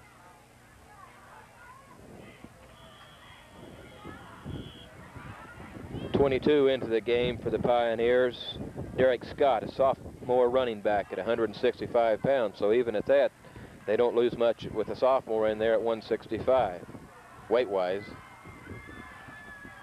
I was talking to Miss Stevener at uh, halftime, and she's from the Kirkwood School uh, District. That's where she went to school. And I didn't realize how big a district that is. She says that runs down into Fenton and in that area. All of South County then. Almost huh? all of South County, that's right. I said she went to uh, Kirkwood. I think she said she went to Lindbergh uh, High. Official timeout. We've got more equipment problems with the Bulldogs. Like we're trying to get the pads on. Busted a chest string. There's been some pretty good hitting on both sides of the line. Uh, the Bulldogs have, have made some gang, ta- gang tackles here early at the start of the second half, which is one thing they have to do apparently. To more that it takes more than one tackler to bring these ball carriers down. That's that's definitely true with the size and power that they have. And the give is to Vaughn, and they've cut him down again as uh, he just didn't have uh, that Simmons. Excuse me. Ellis and Pruitt up on the tackle. It uh, Another like Bulldog they- on. No, that's the Pioneer getting up a little bit slowly. that's number, 62. That's the right Pullman. guard, Ken Pullman, 185 pound senior. And the Bulldogs have done a good job on that running game uh, in the opening plays of the uh, first, uh, excuse me, the second half. Yeah, with the gang tackling that uh, that they're showing right now, they're the Pioneers are marching a little bit, but not with the success they had in the first half. I believe our our uh, line, uh, particularly the far side, is uh, really getting off the ball a little better too. Now that would be Pruitt, uh, Hamra, Greenwood, Sells, front four. As Pullman goes back to He's hit almost immediately, but he gets the pass off and completes it to 80, no, Finds- 82. That's uh, Aaron Hughes. Hughes. I guess Poholski standing back there in that pocket uh, with the pressure that he's getting and able to pick out receivers and complete those passes. It's uh, for a high school quarterback to have that ability. That that's really amazing. And he's got an advantage in that he looks like uh, he could be, what, six one or 2? Yeah, he's tall. And uh, He's got some 200 pounds. That's what he's listed Yes. at. The give is the quick opener, and they hit him and draw him back. Uh, he may pick up two or three yards uh, if they give him the full progress. Matt Heckemeyer, the linebacker, came up and met the ball carrier in the hole and then was helped by three or four other Bulldogs. So with uh, a little over eight minutes left in the third quarter, the Pioneers are on the Bulldogs' 29-yard line. They've got a second and eight. And they're playing ball control. And they're playing the ball control. Is We can't score if we don't get the football. split to both sides. Quarterback fades, and he's looks like he was going to get hit. Uh, he just threw it right between his hands, and uh, That was Anthony Vaughn, one of the just- halfbacks out of the outfield, out of the backfield that went out into the flats and caught the little flare pass and picked up good yardage. yeah, he just ran almost uh, parallel to the line and almost even with the line. Gets the pass and then cuts back across the middle, and he just has power. Picks up a good gainer, first and 10 uh, from about the 15-yard line of the Bulldogs. Another thing I note, some of the offensive linemen from Kirkwood, after the pass was caught, was in the secondary making some blocks for the ball carrier. So that's just good head up to offense.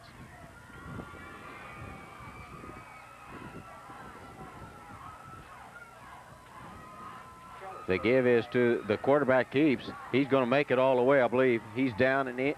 No, excuse me. He's down to the five and across the five to about the three-yard line. The fake was to the halfback going in the middle of the line. He came outside.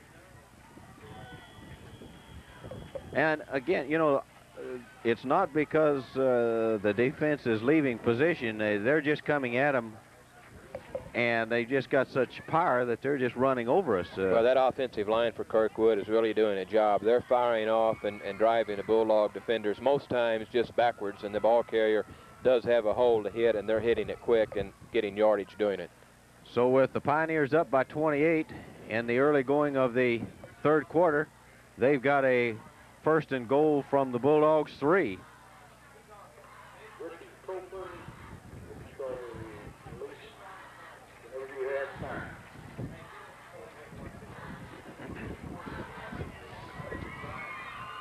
Coach Fiddler out in the defensive huddle again, trying to to get the team together. Yeah, this has got to be tough. Uh, you know, you come out, uh, you'd most definitely like to have the ball as you open up the third quarter when you're that far behind. Uh, this really puts a tough burden on the Bulldogs. Uh, they're close to putting another score on the board again now, and uh, just adding a little insult to the injury. I think if if we could once get a score on the board, that could make a lot of difference. Uh, but we just haven't had the field position and uh, nor the ball. Yeah, as, as Ron indicated in his uh, statistics there, that the turnovers, when we did have a little ground game going, uh, the turnovers stopped those. So there's been a lot of factors uh, that have hurt the Bulldogs. We are standing at 6:45 left in the third quarter. Bulldogs really buckling up here as it's a first and goal to goal for the Pioneers from the Bulldogs three. Split the ends to both sides. They pack the uh, That Simmons into the end zone for a Kirkwood touchdown. they just play that power football. They uh, both the backs uh, uh, a little different from the old T, but they just put them right together in the backfield. Uh, It's a lead play where the back that's not carrying the ball leads through the hole to pick up the linebacker, and then the ball carrier comes through and when you got a lineman that's at about uh, 270 pounds and uh, uh, you got a back at 200 pounds leading the ball, carrying the ball at 190, that's lots of power, isn't? It- It's a lot maybe to stay away from when you see that coming at you. So that's 35 on the board for Kirkwood with 6.38 left in the third quarter. Bulldogs will receive. Again, they're defending the north goal, going from left to right on your screen. As you see, 6.38 left in the third quarter. Again, uh, even the, the heads and the shoulders droop a little bit at this stage, don't they? It uh, makes Yeah. a long ball game. It's uh, the Bulldogs need to, to generate a little offense, and if, if they can possibly get one in the end zone before this is over uh, for a little momentum builder, uh, you really don't realistically look for them to come back with much of a chance to win this one. But uh, not looking ahead to next week that that rapidly. But uh, you do have Poplar Bluff coming in here, and uh, you know you want to get things together and regroup and and get ready for that game. Although this one's not over. And that's uh, Poplar Bluff being the team picked to win this conference this year. Yes, they are. The three teams of Sikeston Cape, and Bluff. Uh, Poplar Bluff is favored to win that three-team conference. So uh, Bulldogs have a tough first half schedule. That ball's kept low and it rolls as Latham picks that thing up at about the 20 yard line, comes across the 25 as he is down on about the 31 or 2 yard line.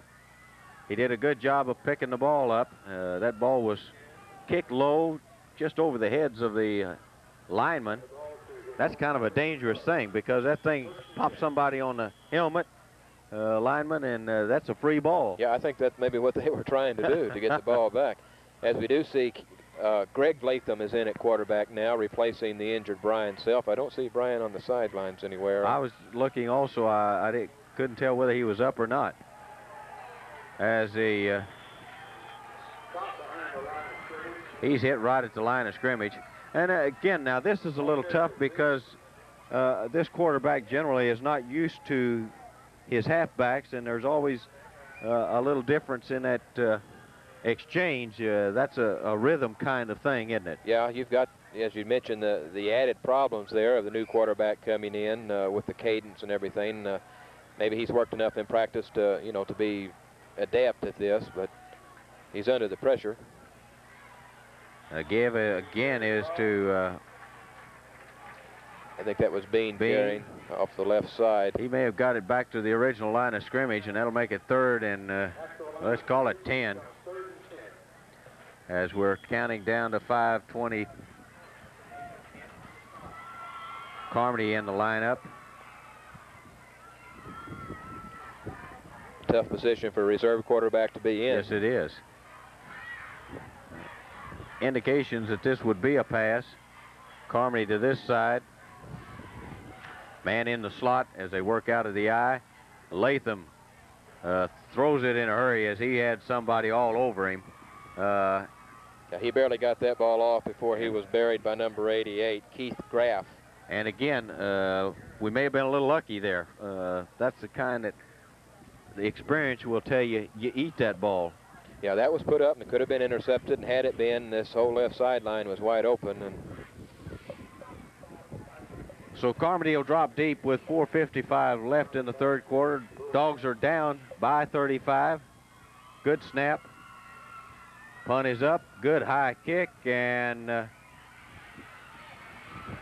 as Vaughn gets inside, and he's making a good run as he just keeps coming. And the Oh. ball's loose as uh, as Let's luck would who- have it, the ball is loose, and there's one, two, three, Three. four pioneers all All around, around it, not it. a bulldog.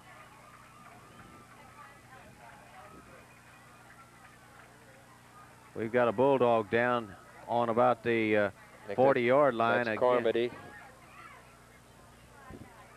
Working on a possibly a knee or an ankle.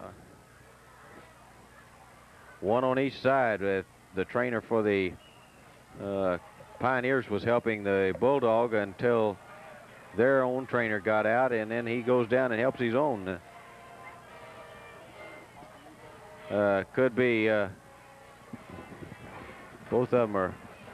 Carmody's up, and he's hobbling off on his own power, but he's he's limping. Now, he was shaken up uh, Yeah. a little bit earlier in the first half.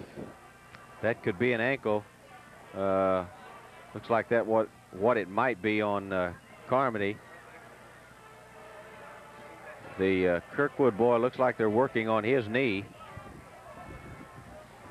Gary Ellis comes in uh, for the Bulldogs.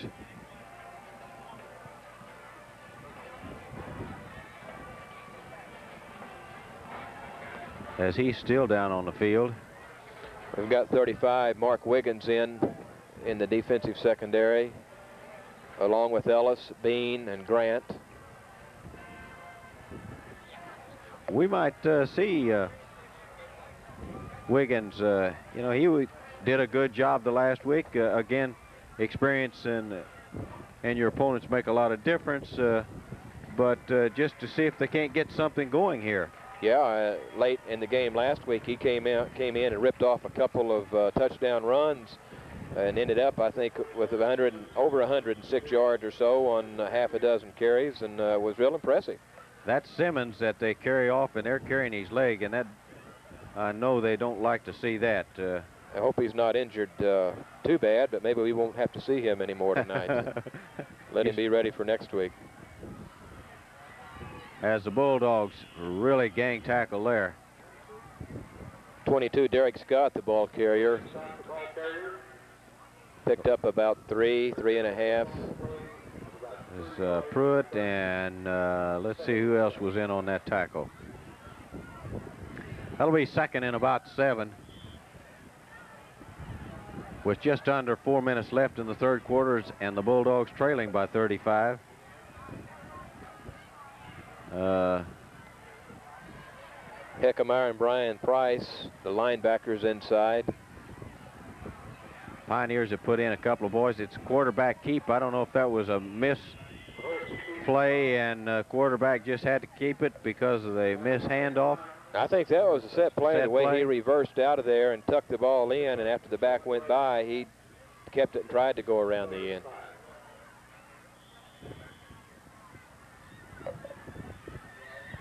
He made uh, maybe a yard or so, so it'll be uh, third and six.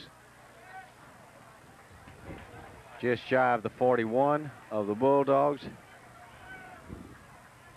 Running out of the I now. The ends are split. The give is to the tailback and number 55. That's Chip Thornton coming across, Chip making Thornton a good really defensive comes tackle. through there. Sales helps as uh, Bulldogs did a good job there. That brings up a fourth down and a punting situation for Kirkwood. They lost maybe a yard or two on that as the ball is back at the 44.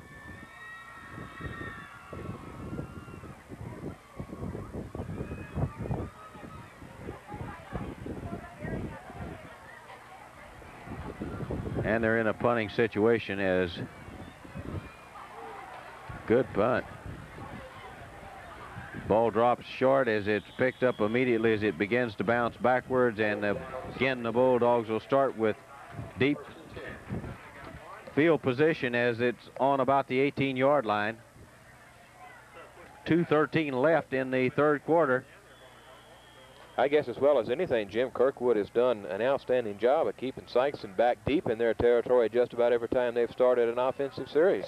You know, and, and one of the things that, and Coach Vickery mentioned this uh, in one of the previous games, that he was hoping that they would not have to play football where the score and the defense dictated the offense that they would play. Of course, being this far behind, you, you normally have to put the ball up to try to, to get back in it. But when you're so deep in your own territory, you've, you've got to, to go away from that to, to go back to the running game to try to get a little room to, to throw it. And you've got two problems here. He's he's in with his uh, uh, quarterback, uh, second line quarterback, which has not had the experience, so that uh, just puts an additional burden, both on the quarterback and the coach. Yeah, Greg Latham and Brian Self are both juniors. Latham keeps. He cuts upfield as he slips, and he picks up uh, three or four, maybe five yards. I think you can see how well they're keen on Dennis Bean. He didn't even have the ball, and he was tackled by, by two Pioneers. I And I believe it was really a busted play. I don't believe uh, Latham was supposed to get that. I think Dennis was supposed to take that on that on the carry on that one, but he was he was hit so quickly that and knocked out of the play that uh, Latham wasn't able to hand Yeah. it to him. And uh, Latham was trailing behind him again. That's uh, probably they've had haven't had the chance to exchange the ball like that. A little cross buck, and think Carmody's got the first and I ten. believe he does too. So his injury was not serious. He's back in. And the Bulldogs are beginning to move that ball a little bit here with 35 seconds left in the third quarter. It'll be a first and 10 for the Dogs. And I believe Self comes back into the lineup. Uh, no, he doesn't. I thought that was number 10, but I don't believe it was. I believe that was Derek Tennant in Yes. with the play. Latham still the quarterback. And the give is to uh, Bean as he picks up three or four yards. And you could tell there that uh, having gone to two other backs in running plays, uh, whether they wanted to or not, kind of gave him a little better opening there. Yeah, he did. He, he broke through there and picked up a little bit of yardage. So as the third quarter ends, the Bulldogs have the ball. They've a second and about uh, five and a half or six yards. Bulldogs down by 35 as we start the last 12 minutes of play. I still think your goal at this point is to get in the end zone before this football game is over. I think that's right. Uh, it's an emotional uh, stand now, isn't it? There's not a whole lot of difference between 35 to nothing and 35 to seven, but uh, there's a lot of a spirit in in the fact of just scoring against this Kirkwood bunch uh, would be a big uplift for next week's Poplar Bluff game. And it, uh, it, it could give a lot of talking room for the Bulldogs, as they would say, you know, we're talking about uh, 7-7 uh, kind of situation in the second half, uh, Right. so they just play them even. Football's loose. Now there, as you And- mentioned earlier, then as Kirkwood recovers that fumble, that was just a busted play. The exchange was not uh, very crisp. Ball fell to the ground, and Kirkwood has it back.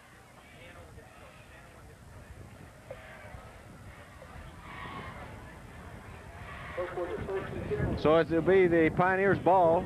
They have it on the uh, Bulldogs' 31-yard line. The wind seems like it's picking up to me. Yes, it is. It's blowing briskly now. Uh, Kirkwood coach is staying with his first unit offense in there, the best I can tell. Poholski's still in there at quarterback. And it, uh, I guess the only folks that may be warm is Pioneers, huh? Yeah.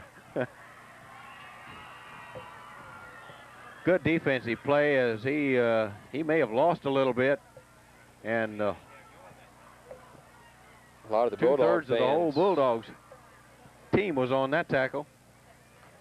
Picks up maybe a yard. Some of our fans leaving here too, Jim. Uh, You don't think, you don't reckon they feel that, that we can't make these 35 up in the last 11 minutes? either that or they just want to get home and watch the end of it on uh, Get ahead TV. of the traffic, huh? Yeah.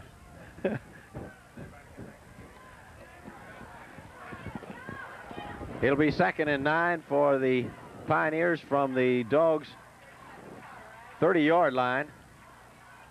Ooh, a little, yeah, he started. He looked like he started too quickly there. The halfback was in motion. I think we do have a couple of new ball carriers in the backfield for Kirkwood. Number 22, Derek Scott, who has been in for an offensive set or two. And number 35, Glenn Keller, 185-pound junior running back that was guilty of a little illegal procedure on that play. He wanted to get out there and get his block a little ahead, didn't he? That's just good aggressiveness. He wasn't going to be the ball carrier, but he wanted to get out there and, and lead the play with the block. You can't fault that that much. Yeah, that that's not the thing, uh, kind of thing that coaches are really upset about, is it? No, that was just, that's aggressiveness, and that's something you don't like to happen. But uh, you know, you won't you won't get after him too much about that. And again, uh, probably that's some inexperience uh, with game experience. Uh, they'll get that down.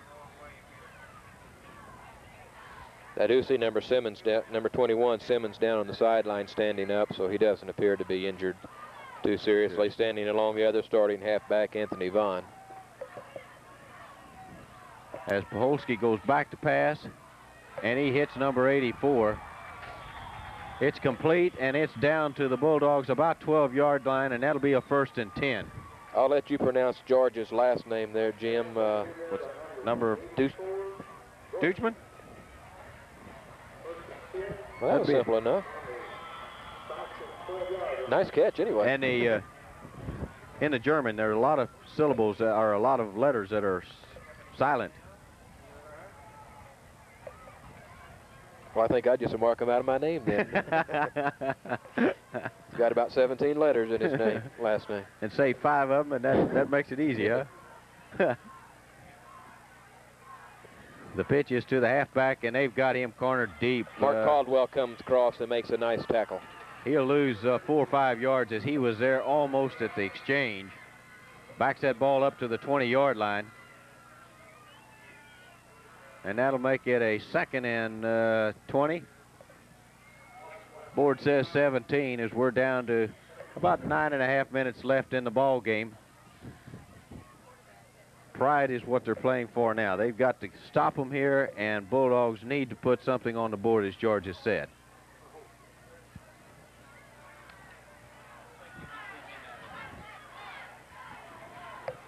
I notice they've left Poholski in there the whole game so far. Uh,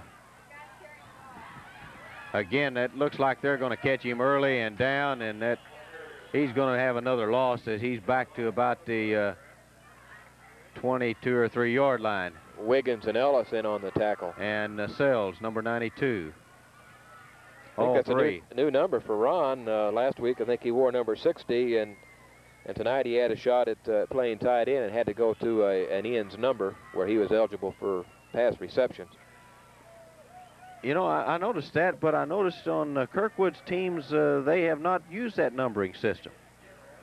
No, they what we noticed earlier they've They got had a uh, 39 on a tight end. Uh, Yeah. You know, some of the uh, maybe they're using him as a wingback uh, situations, split in.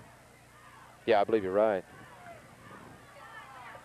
Poholski up again, and he hits him right underneath. They're running right under the cornerback and over the uh, linebacker. That's a well-timed pass play, and you can tell they've spent a lot of time in practice, obviously, on that. That's a timed pattern. The receiver goes down and makes his cut at 10 or 12 yards and turns around, and the Poholski has put the ball right there. So that's something they've spent a lot of time working on.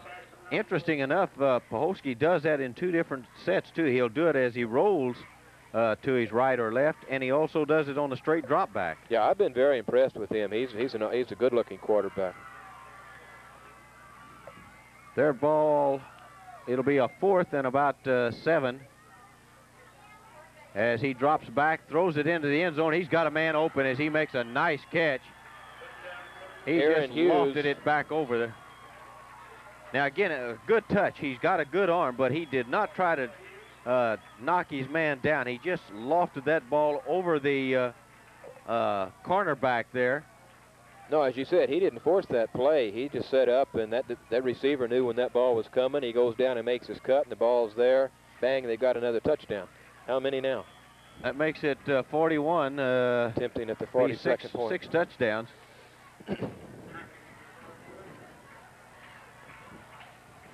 Up and good for 42. And it, it was a smart play to the extent that he had a tall end. Uh, he was running over uh, Greg Grant, who is uh, what five? Looks like uh, maybe five nine, five ten. Uh, trying to cover somebody that was maybe six foot or six one. Right. Yeah. That was that was a, a nice called play, whether Poholski or the coach called it, and it was well timed and well thrown. It was just you know like everything else they've done, uh, they've done it good. Like you draw it on the board. Yeah. and hopefully go out on the field and perform it. And Kirkwood has done that tonight. Yes, you can tell uh, not only are a well-coached team, but they uh, are a team that has executed very well. So the Bulldogs down by 42, 7.20 left in the fourth quarter. Uh, hope now to get something on the board here. We've even got a new kicker, number three, Matt uh, Heights.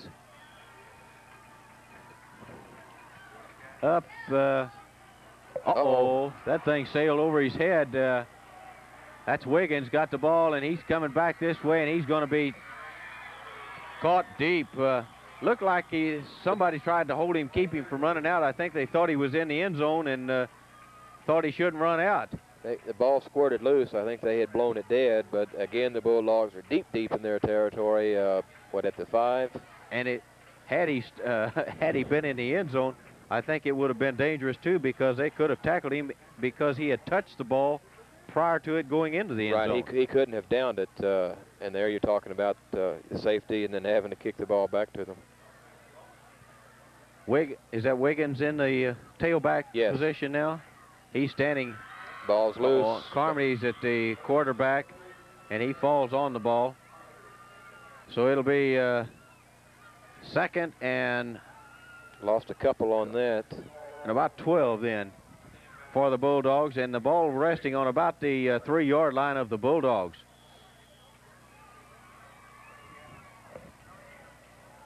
We've got uh, Carter back into the offensive line. Put a little beef in there. Again, Wiggins standing about uh, midway into the end zone. The pitch is to Wiggins. He's got to come outside. He tries a couple of moves, and he does a good job there. He gets across the five up to about the six-yard line. Yeah, Dennis Bean on that carry. Oh, Dennis, excuse me. He didn't made a nice run. Uh-oh, we've got uh, unsportsmanlike conduct.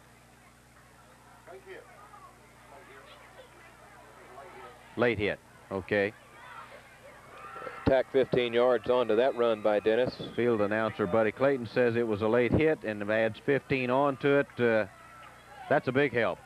Gets us out into 22, 23 yard uh, territory. Of, gives us a little room to operate. Oh, Bud's still staying right on top of the game, isn't Yes, he? Yes, he is.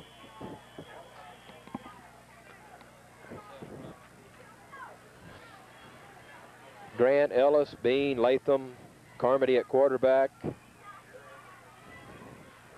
Again, we've changed quarterbacks again, so uh, again, you got to get a little timing. Oh, oh, he was going to, it was a roll, and it was to hit the man in the flat, just over his head.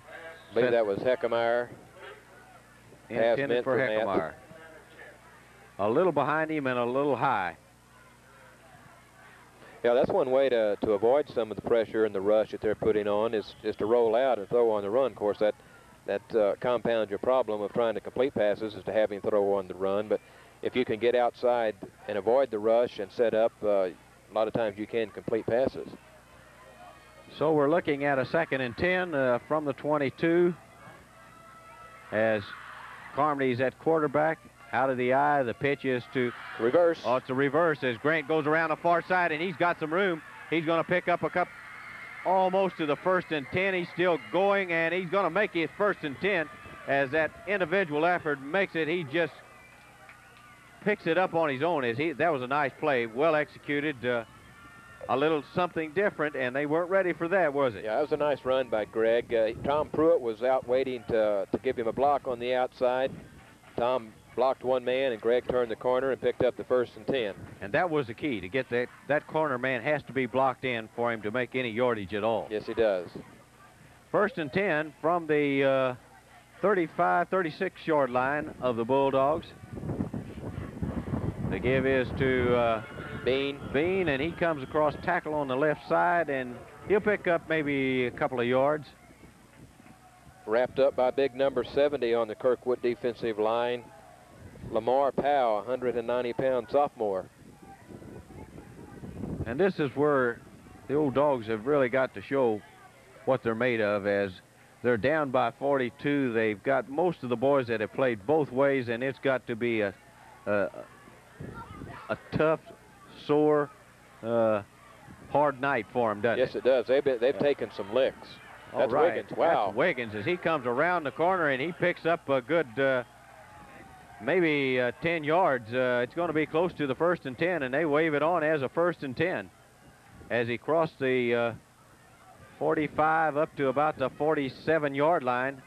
This has been a very physical football game, Jim. Uh, been a lot of good hitting on both sides, but as you mentioned, uh, most of the Bulldogs playing both ways that have been in there on offense and defense, uh, you know, they've got to be tired at this point. But whether, you know, they can buckle it up right now and continue this drive and get it in the end zone. Yeah, this is where the, the mental comes in, isn't it? Uh-oh, a little holding, but I believe we got by with that. Carmody's over. He picks up, uh, he'll pick up another six or seven yard line.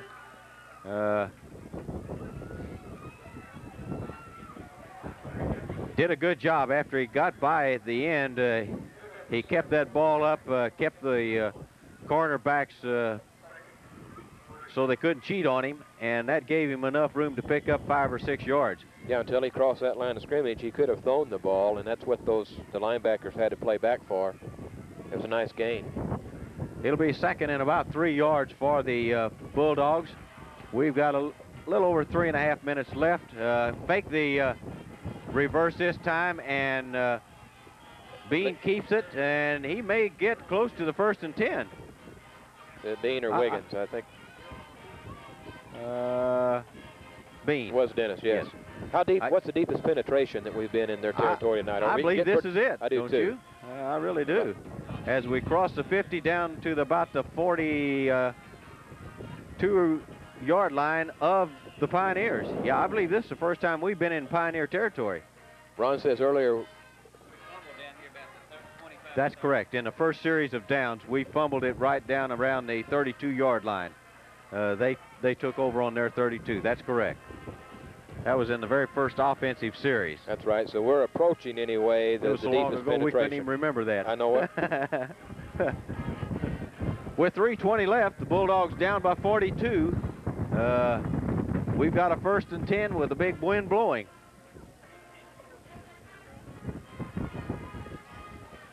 We the again, we, we've we've got to start maybe setting our, our sights on Poplar Bluff, who comes into Public School Stadium next week. Uh, I'm sure there's going to be some things that Bulldogs are going to have to work on this next week in preparing for Poplar Bluff. Uh, the scoreboard is very lopsided, but it hasn't been that dismal of a showing on the Bulldogs. I think they've just they've been outmatched. Uh, some turnovers have hurt them. Kirkwood has taken advantage of most turnovers and turned them into touchdowns and points. But uh, the Bulldogs have fought hard and have played pretty well football. You know, one of the things that this could be, there's Bean, he cuts inside, he's still going as he comes across the 40-yard line down to maybe the 39, uh, excuse me, the 34-yard line. One of the things that this could do, uh, hopefully we would get in the playoffs, and if we should happen to see Kirkwood again, uh, a lot of times uh, they may be feeling that, uh, ah, they're no team, we can run over them, where the Bulldogs have the idea that uh, we're going to show them this time. Yeah, uh, overconfidence could be a factor if these two teams get together again. Bean takes it and comes wide this time. Uh, he's crossed. Oh, we've got a, uh, I believe it, uh, face mask. Okay, Ron says that was a face mask call. That's what you would indicate there. Now Wiggins, the ball carrier, was close to picking up the first and ten, but with the penalty, that uh, that'll probably put us in our deepest penetration down here, won't it? Yes, that will most definitely. We've not seen anything on the other side of the 35, then, right? It, it almost had to be a face mask. There wasn't anybody else around No. except Pioneers. So with two and a half, roughly two and a half minutes left, uh, Bulldogs. They're going the wrong Wait, way if they're marking it off minute, against uh, Kirkwood. That must have been one of ours. Uh, offensive holding. Mm. Said that's the way he got around the corner. so that'll back the Bulldogs up to the 50-yard line. That'll make it a uh, second and about uh, 20 yards to go. As Carmody rolls to his right, throws that ball in the air, and it's going to wobble, and it's going to be intercepted as he tried to throw it into the wind. He's hit from He the back, go. and he's down as the interception goes all the way down to the 25, 24 yard line of the Bulldogs. And Carmody's back up. Run down by Wiggins on the tackle after the interception. Carmody slow getting up. Wiggins a little slow getting up. And Kirkwood takes over. With two, a little over two minutes left, the Pioneers come back with another chance at offense as they'll start off from the uh, 25 of the Bulldogs.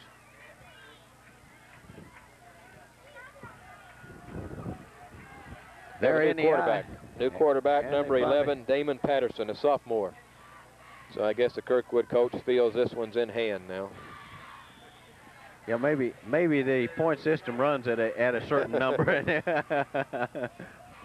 well, you know, I would think hopefully they would do that. Uh, that you know, after a certain uh, number, you well, we've talked about it before when the. Bulldogs have gotten ahead to, to put some reserves in to give some give them some game experience because you never know later on in the season when that uh, you're going to need those That's- kids to come correct. in and uh, they've had a little experience. Of course, this will be the second week in a row now that Kirkwood has shut out their opponent. So they beat uh, Parkway South last week 27 zip, and now tonight 42 to zip. So that shows uh, both sides, uh, potent offense and uh, good defense. Yes. I'm gonna fool around. I'm gonna have to put my coat on here at the rate this wind's blowing. We're down to a little under a minute. Bulldogs are just trying to run out the clock here and now. Uh, keep them off the boards anymore as uh, the Pioneers are down to the 20-yard line to give to the 44, the ball carrier. That was a tailback as they're running out of the I now. Uh, we don't see a 44 listed there if that's what it was. Well, having seen Kirkwood tonight, and they've been an awfully impressive pressing team, uh, I'm going to kind of follow them in the paper from week to week and just kind of watch and see what they do in the St. Louis area. That would also give them a good start when you, you know, they generally your rankings are a lot of the newspaper people out of St. Louis area or media people. Uh, Yeah, I'm sure this this is going to catch the you know the attention of many people up there, and particularly the the other eight opponents. Sikeston, I think, has recovered the football with three seconds left. What do you call now? said uh, that's the wing in the prayer. With uh, three seconds left, Bulldogs 42 zip. Uh, yeah, we'd like to see one of those uh, fluke or non-fluke. It doesn't make much difference. Just put us some points on the board. Well, they're going to start the clock, and the And dogs won't it. even get a chance. Uh, get a chance to get play. it off. So there's not much we can say about tonight's ball game, can we, George? No, simply outclassed tonight uh, by a good football team. No doubt about that. Kirkwood is a fine football team, both offensively and defensively. So I think, you know, now it's, uh, it's a job of the coaching staff and the players just uh, to gear it up and hitch up the old belt and come back Monday and forget about this one. This one's over. That's right. This and is yesterday. You, you've got to start thinking about the Poplar Bluff Mules that are coming in here next week, and and you start anew. We're we're two and one after three, and uh, That's a good start. Yeah, that's a, that's, a respectable start. In fact, uh, I'm sure Coach is glad at, of that record at this stage.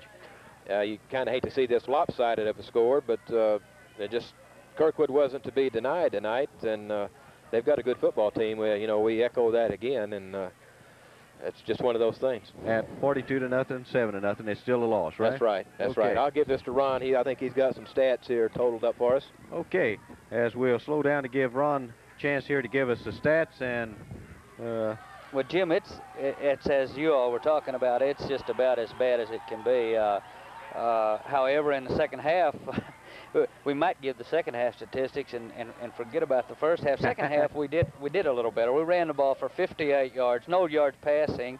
Uh, I think they threw the ball looks like about twice only in the in the, in the second half, but uh, for no yards.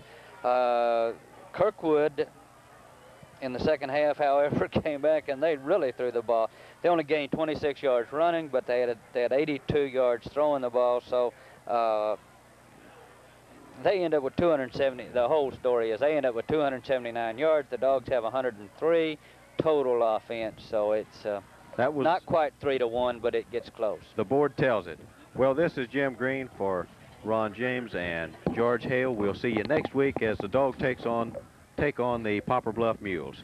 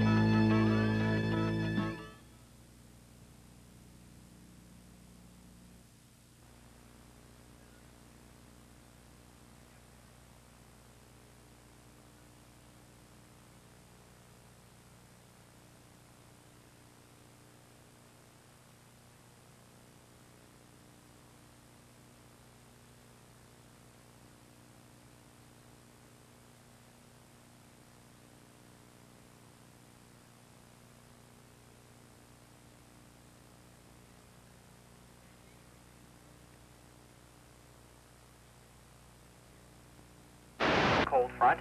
Winds are from the north at speeds of 10 to 20 miles an hour. These northerly winds are bringing in quite cool temperatures.